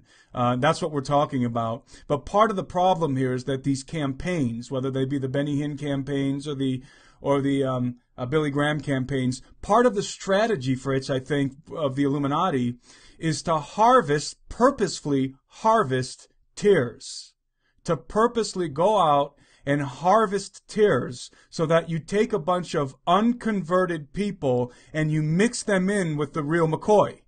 You mix them in with the wheat. Because what happens is, again, Jesus said, a little leaven ruins the whole lump. But what does a lot of leaven do? If a little leaven ruins, or a little cancer is bad, but what if your entire body is riddled with cancer? A little bit of cancer, you can do a surgery and get it out. But if you've got cancer in every one of your major organs, I mean, you're, you're on, you're on a path to death. You're going to die. And that's re- that's a great analogy. I was just talking to my wife the other night using that very analogy. I, I told her, I said, you know, when you wake up to this, when people begin to wake up to this infiltration, again, on every level. When you wake up to this infiltration, at first you realize there's cancer. It's like getting a, diagnose, a diagnosis from a, a doctor. There's cancer. Okay, that's that's a heart stopper. There's cancer. All right. That's your first awakening. There's cancer in the body, now referring to the body of Christ. Okay. But then you get the second diagnosis, which is it's everywhere. It's malignant and it has metastasized throughout the entire body, every one of your organs, including your, your skin and all your internal organs are infested with cancer. That's the reality, isn't it? That's where we are. This thing has been going for so long, all the way back to the 19th century with the uh, infiltration of uh, spiritualism and theosophy into the church and into church theology and, and the placing, the strategic placing of, of Illuminati funded leaders in the seminaries. It's been going on for so long that by now, at this point in time in history, 2014, the the collective body of of, of Protestant churches, it, it, as a body, has terminal cancer throughout the body. I think that's a fabulous analogy because that's the reality. How do you root it out at this point? It's and it's like you said, the sa- and I agree with you, Fritz. The safest place to be, and I've been saying this for years. The safest place to be as a believer is in a small group of believers, not in some rising superstar church, not in some church that's growing leaps and bounds every week because they're watering the gospel down. They're they're seeker friendly. You know, they they're they're they're bringing in tares, tares, tares. You know, the early church was it was secret. They met behind closed doors in secret. In fact, it was so secret that that the Romans were jealous because they were getting these uh, they were getting this feedback that these agape feasts is what they were called the agape feast, the love feast that the Christians were having. Uh, and that's what they called them, the Christians. The, the early church called, called themselves, referred to themselves as the people of the way. That's what they referred to themselves as, uh, uh, as in the way, the truth, and the life. The people of the way, the truth, and the life. And they referred to the, to the gospel, the death and burial and resurrection of Jesus as the event. Say they were the people of the way, and their creed, their belief was in the event. That was that. Was, Paul said, "I preach Christ crucified, buried, resurrected." That was Paul's message, and that was what the church was thriving on. And they were uh, behind closed doors, meeting in secret in these agape feasts. And the emperors, they, there's the I can't remember which emperor emperor it was, but the emperors of Rome were jealous of these uh, uh, of these uh, these agape feasts, and the and the leaders of Rome, a certain emperor for sure made a comment, and the and the leaders and the and the aristocracy of Rome was so jealous because the Romans, it was common for the aristocracy to have these uh, these um, orgies. Basically, they would literally have orgies and and and, and you know practice gluttony and and, and every abominable thing. And they felt like they were being undone by these Christians who were having these amazing agape feasts, which they thought were debauchery fests like they were having because they were hearing word from them. Obviously, that's not what the church was doing. The church was, was being the church and, and uh, fellowshipping and, and growing in the, in the strength and, and grace of, of the Lord and, and, and comforting one another and doing everything that the church does and the spirit was moving among them and, and that was the vibrance of the of the of the early church and it was in secret it was behind closed doors. It wasn't public faith. Public faith in other words catholicism because catholic means universal public faith was an invention. It became popular through catholicism when basically the state and the Roman Catholic Church merged, or the state and the Church of Rome merged and became the Roman Catholic Church. And so now what you have is you have all these pastors who their prime objective, literally their prime objective is to grow their churches. That's the prime objective. Not to feed their sheep the gospel, not to prepare their people, not to, not to prepare their people for core reality, for the reality of, of, uh, uh, of the world in which they live and make sure that they're founded in the gospel. The prime objective now is to is church growth. That's the prime objective. And you mentioned the 501c3. Why? Because churches are functioning as corporations. That's how they're functioning now. They're not functioning like the early church as fellowships. They're functioning now. In fact, they're designed, most churches, not all churches, are designed to operate as corporations, as organizations. And that to me is uh, has has has made it really easy for the Illuminati to infiltrate, to have influence, and to take over some of these ministries because literally the ministries themselves were actually designed after the organizations that the Illuminati already run. And so it was a natural integration. So again, getting back to the point that I was making, The safest place for believers to be is in small groups where the pastor is literally giving his life, laying down his life for the sheep, where the pastor is, is, uh, where the leaders of the, of the, of the church, the fellowship, or the assembly are devoted to the scripture, are devoted to the gospel, and where a true vibrant fellowship be, among the members uh, exists because there's not because the element of, of the of the money and of the fame and of becoming the biggest church in the city and having the best music and all this it's not there. It's non-existent in these small fellowships. And what you'll usually find is because I know and the reason why I'm so passionate about this is because some of the finest leaders that I know some of the finest pastors that I know are pastors of home churches they have they don't have the ambition that the other pastors have. And you know what? In in many ways they're untouchable. They're they can't be influenced by the system because they have nothing to do with it. And so I'm glad you made that point, Fritz. I just wanted to highlight that. Uh, I'm absolutely absolutely in agreement for people who are wondering where do we go, what do we look for. I think my church has been influenced by the Illuminati. Look for small fellowships home churches or small fellowships that are tight, tightly knit, that have the gospel right, they're teaching the correct doctrines, and they are uh, locked into the scriptures.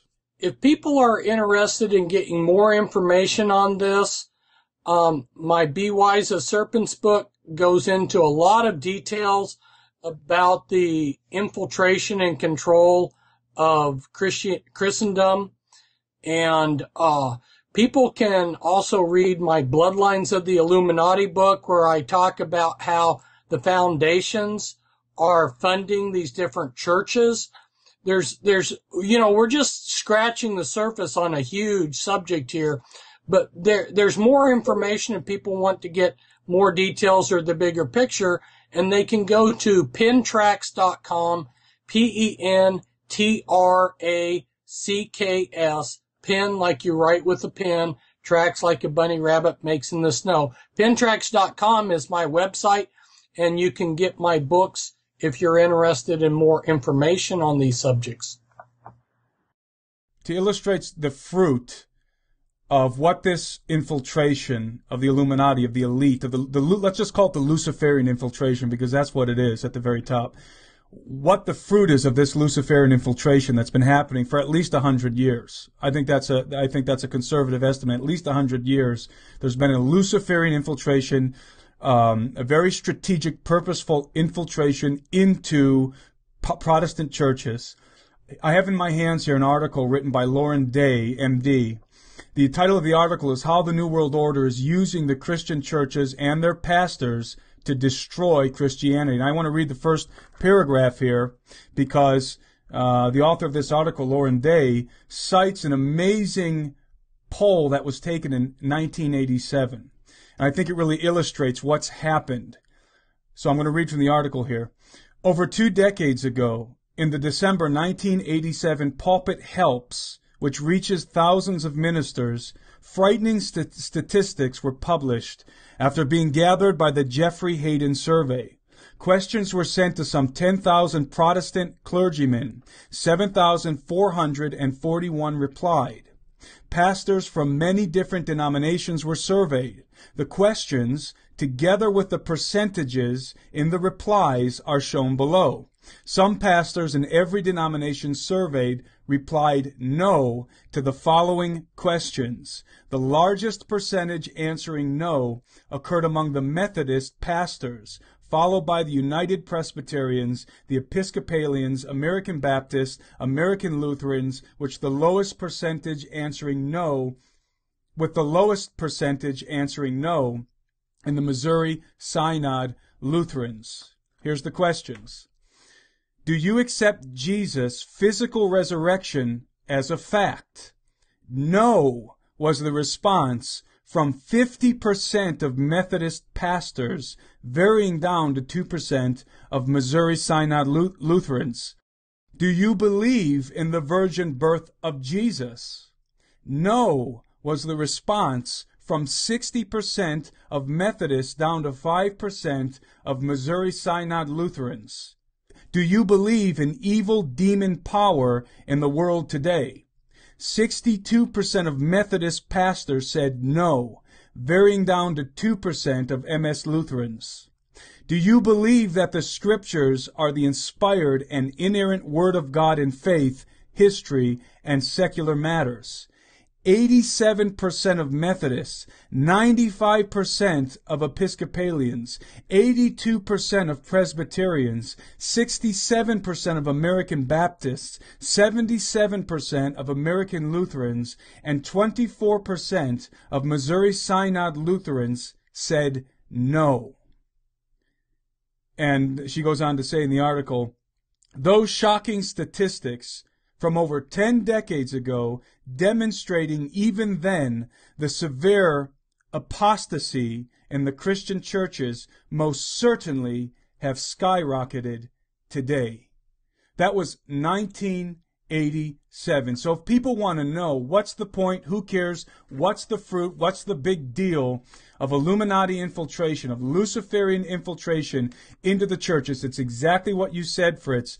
It's it's taking these fundamental doctrines, these fundamental truths of Scripture, especially pertaining to the person and ministry of Jesus Christ, and not only watering them down, but defiling them, uh, preaching and presenting an, an, a bastardized version of Scripture.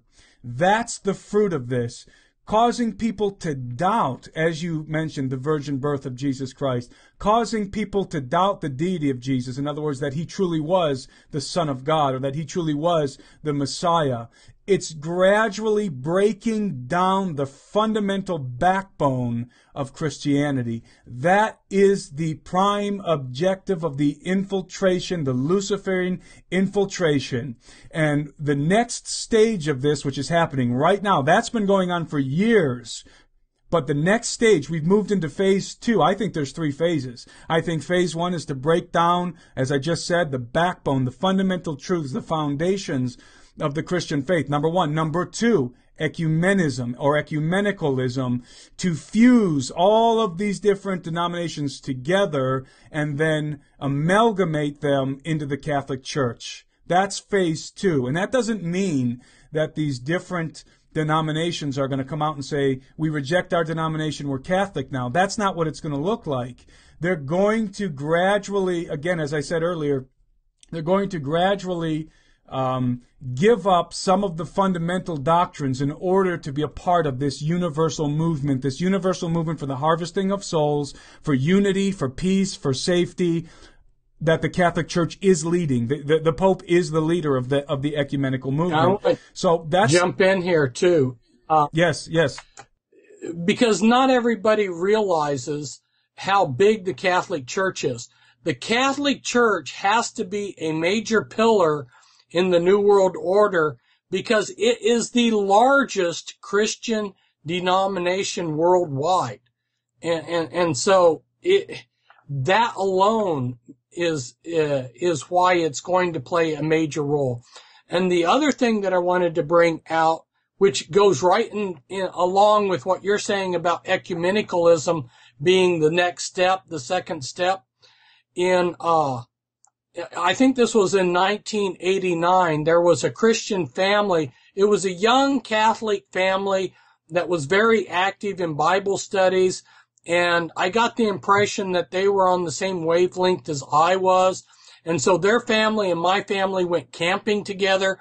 And on Sunday, we decided to have our own little church service there at, at Fort Stevens campground. And when we started having that, they explained uh, that uh, what their beliefs were, and I thought that they were Bible believing Christians, but they were they they uh, what what he said was is that they had been taught by the Catholic Church that if you are good at whatever you believe in, you will be saved. And I said, whoa, whoa, you mean to tell me that if you're a Luciferian or a Satanist and you're good at being a Luciferian or a Satanist that you're going to get salvation. I mean, if you're a good Buddhist, you're going to be saved. If you're a good, if you believe in, in Islam and you're good at it, you're going to be saved. And they said, yes, that's the way it works. So this, so they could be Christians. They could say, we believe in the Bible, we believe in Christ, but they had this over the, over, laying over their Christian belief with this ecumenical idea that as long as you were good at what you believed in, you would be saved.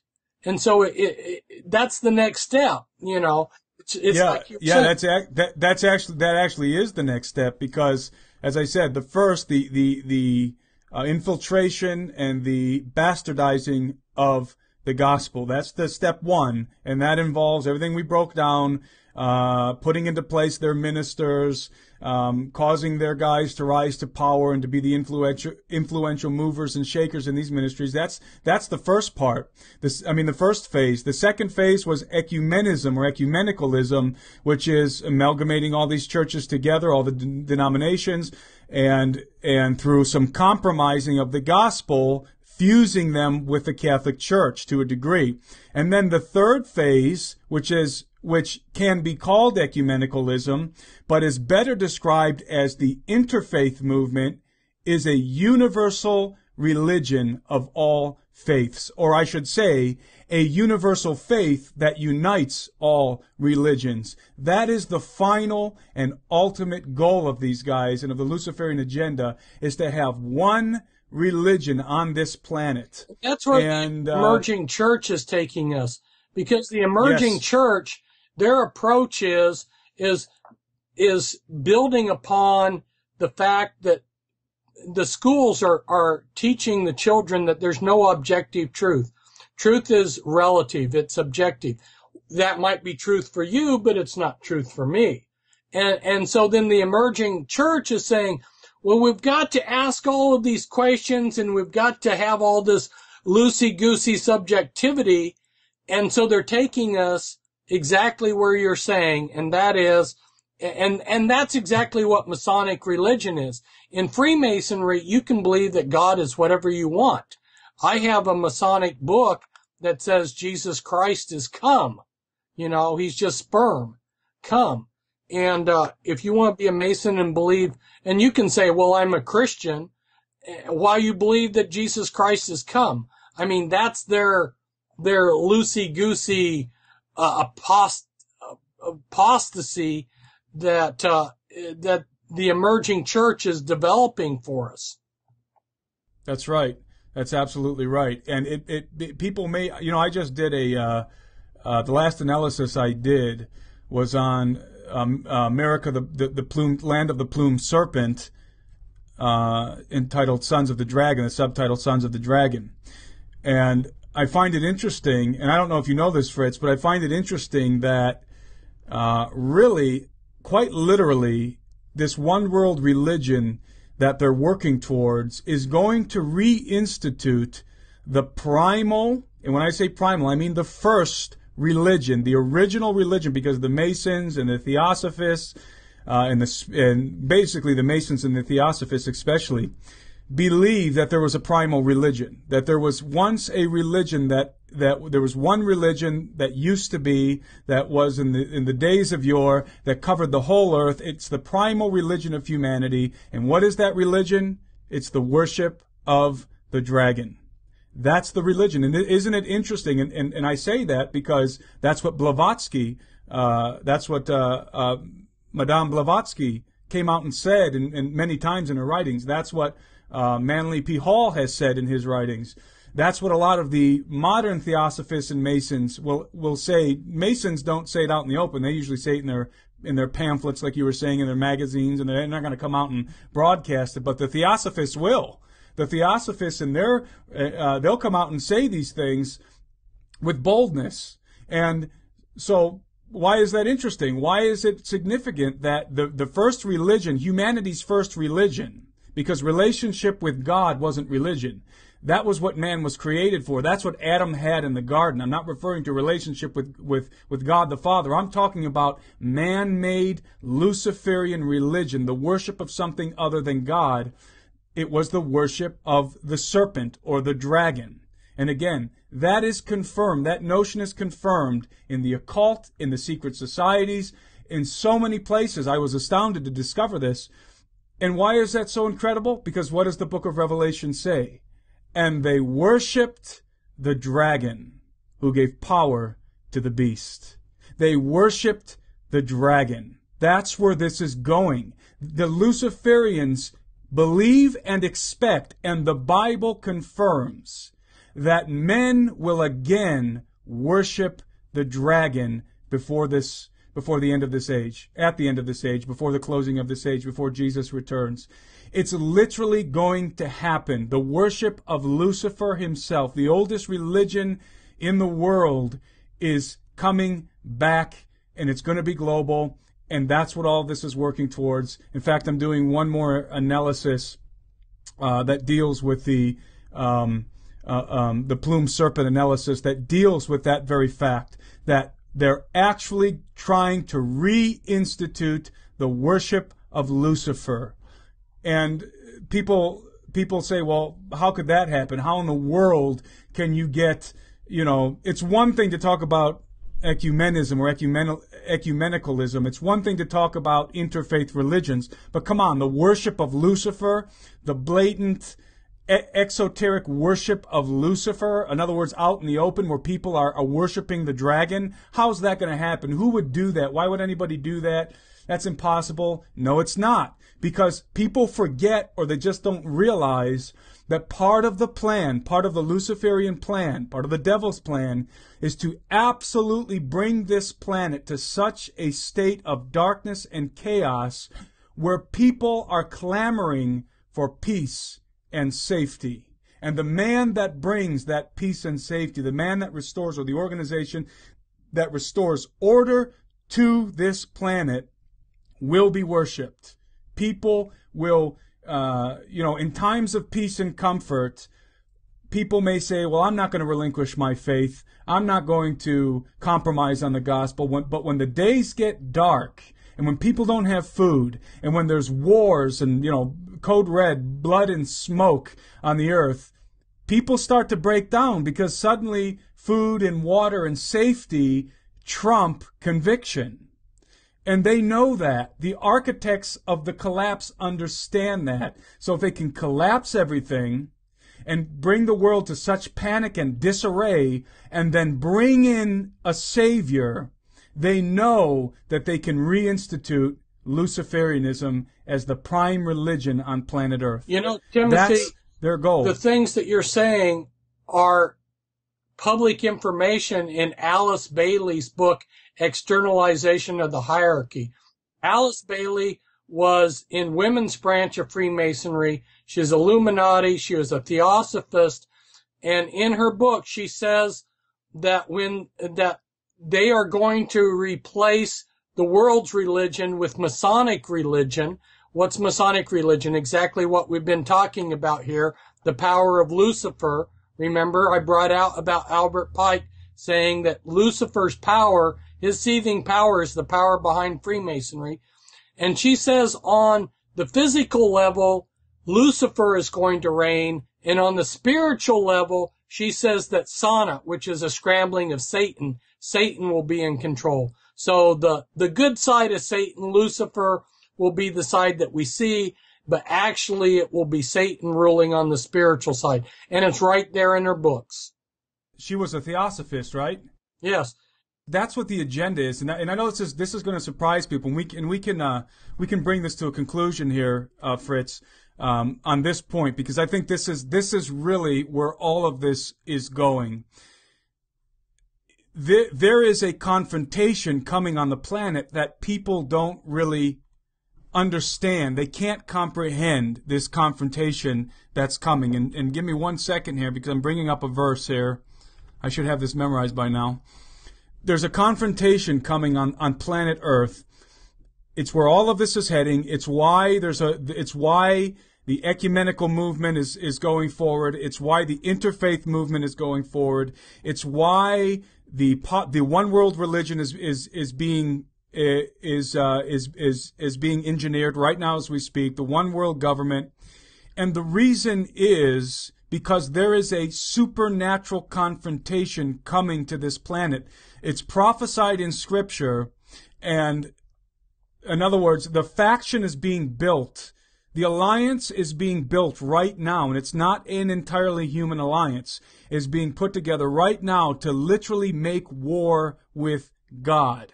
And we know that that's true because Psalm 2 tells us that that's true. In fact, I'm going to read part of Psalm 2. Why do the nations rage and the people plot a vain thing?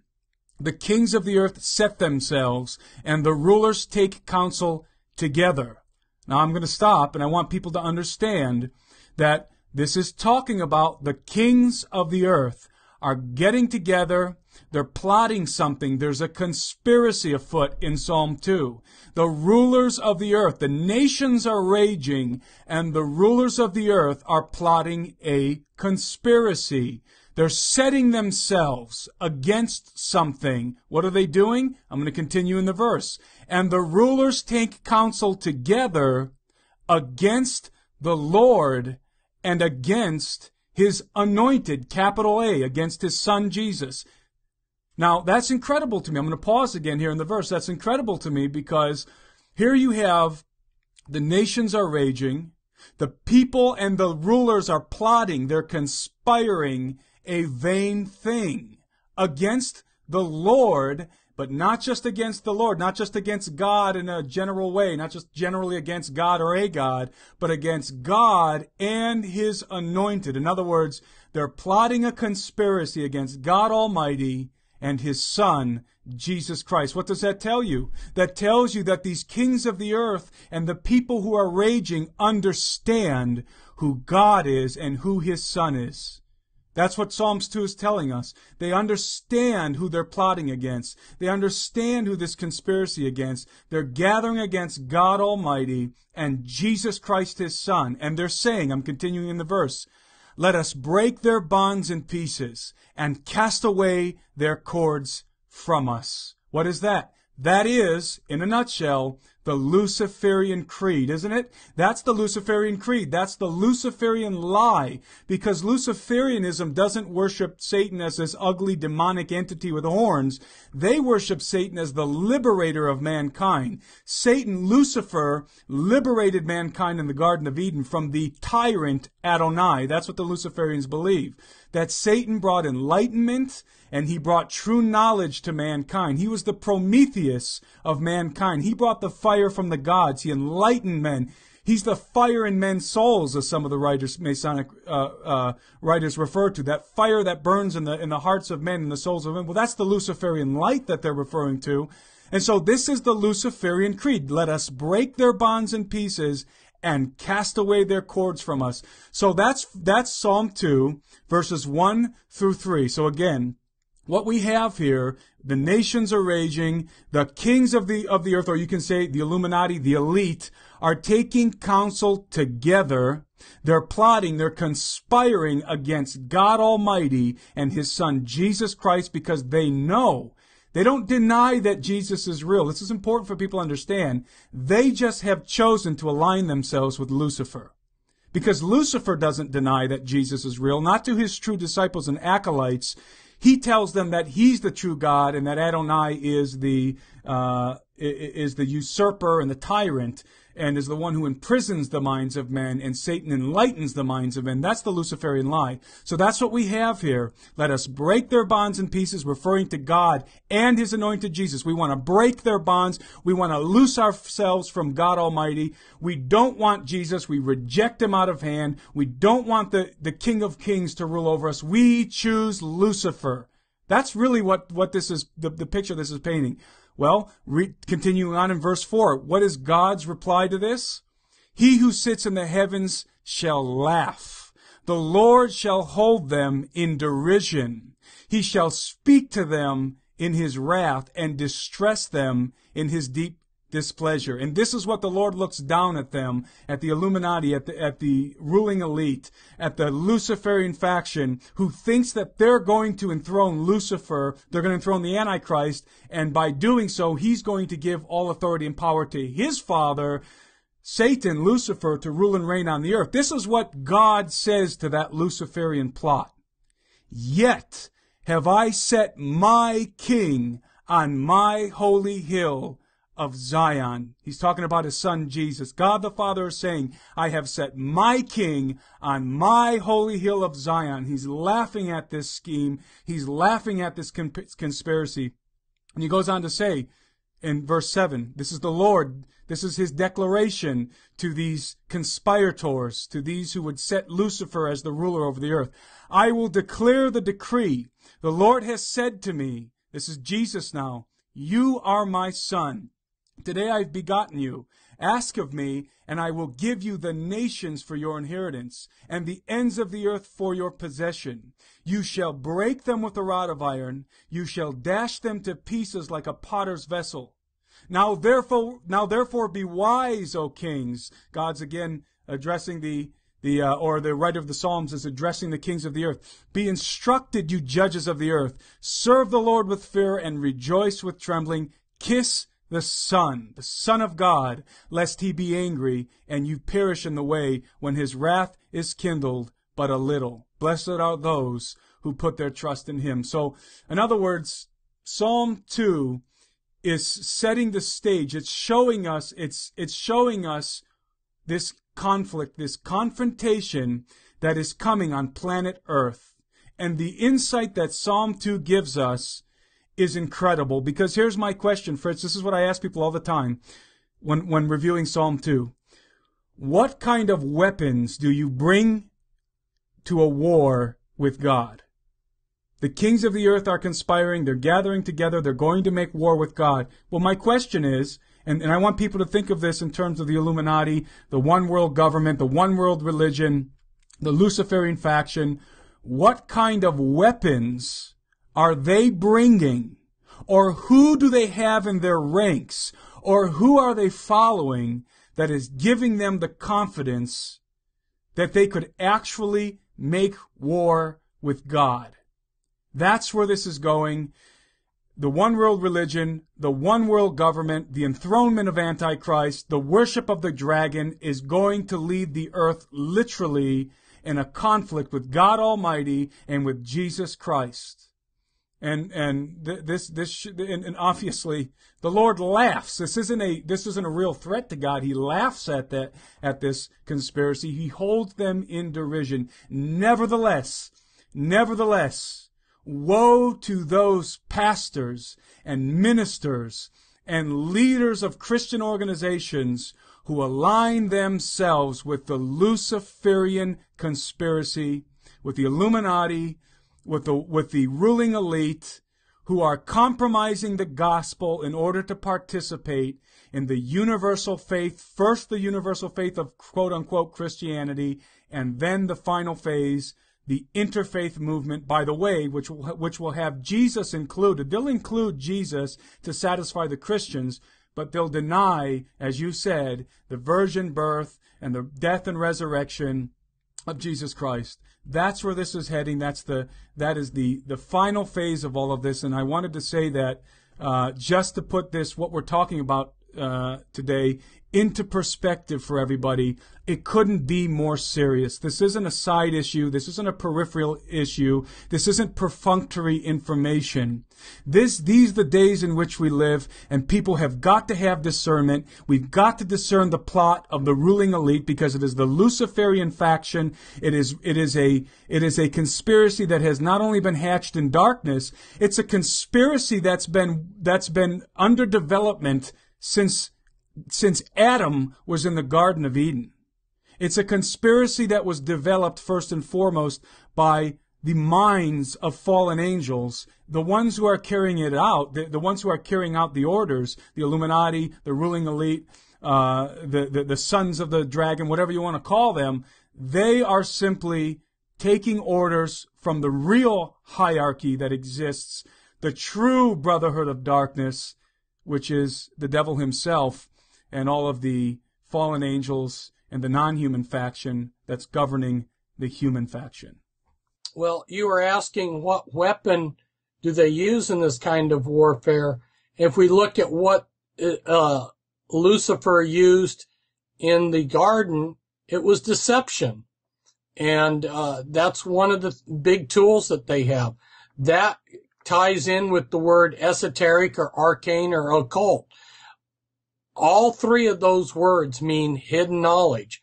And you use deception in the occult. You have, you have your front view.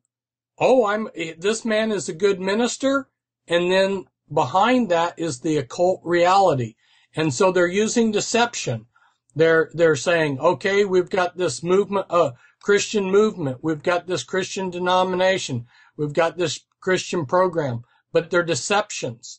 And that's what we've been talking about today is, is, are, are, are these deceptions.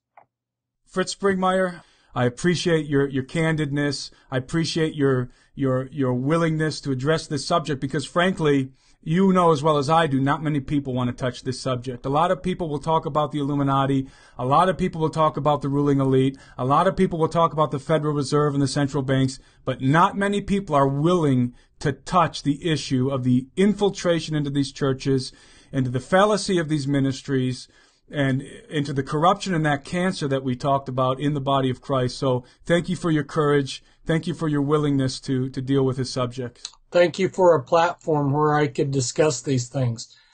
Uh, thank you, Timothy. I appreciate being on the show today.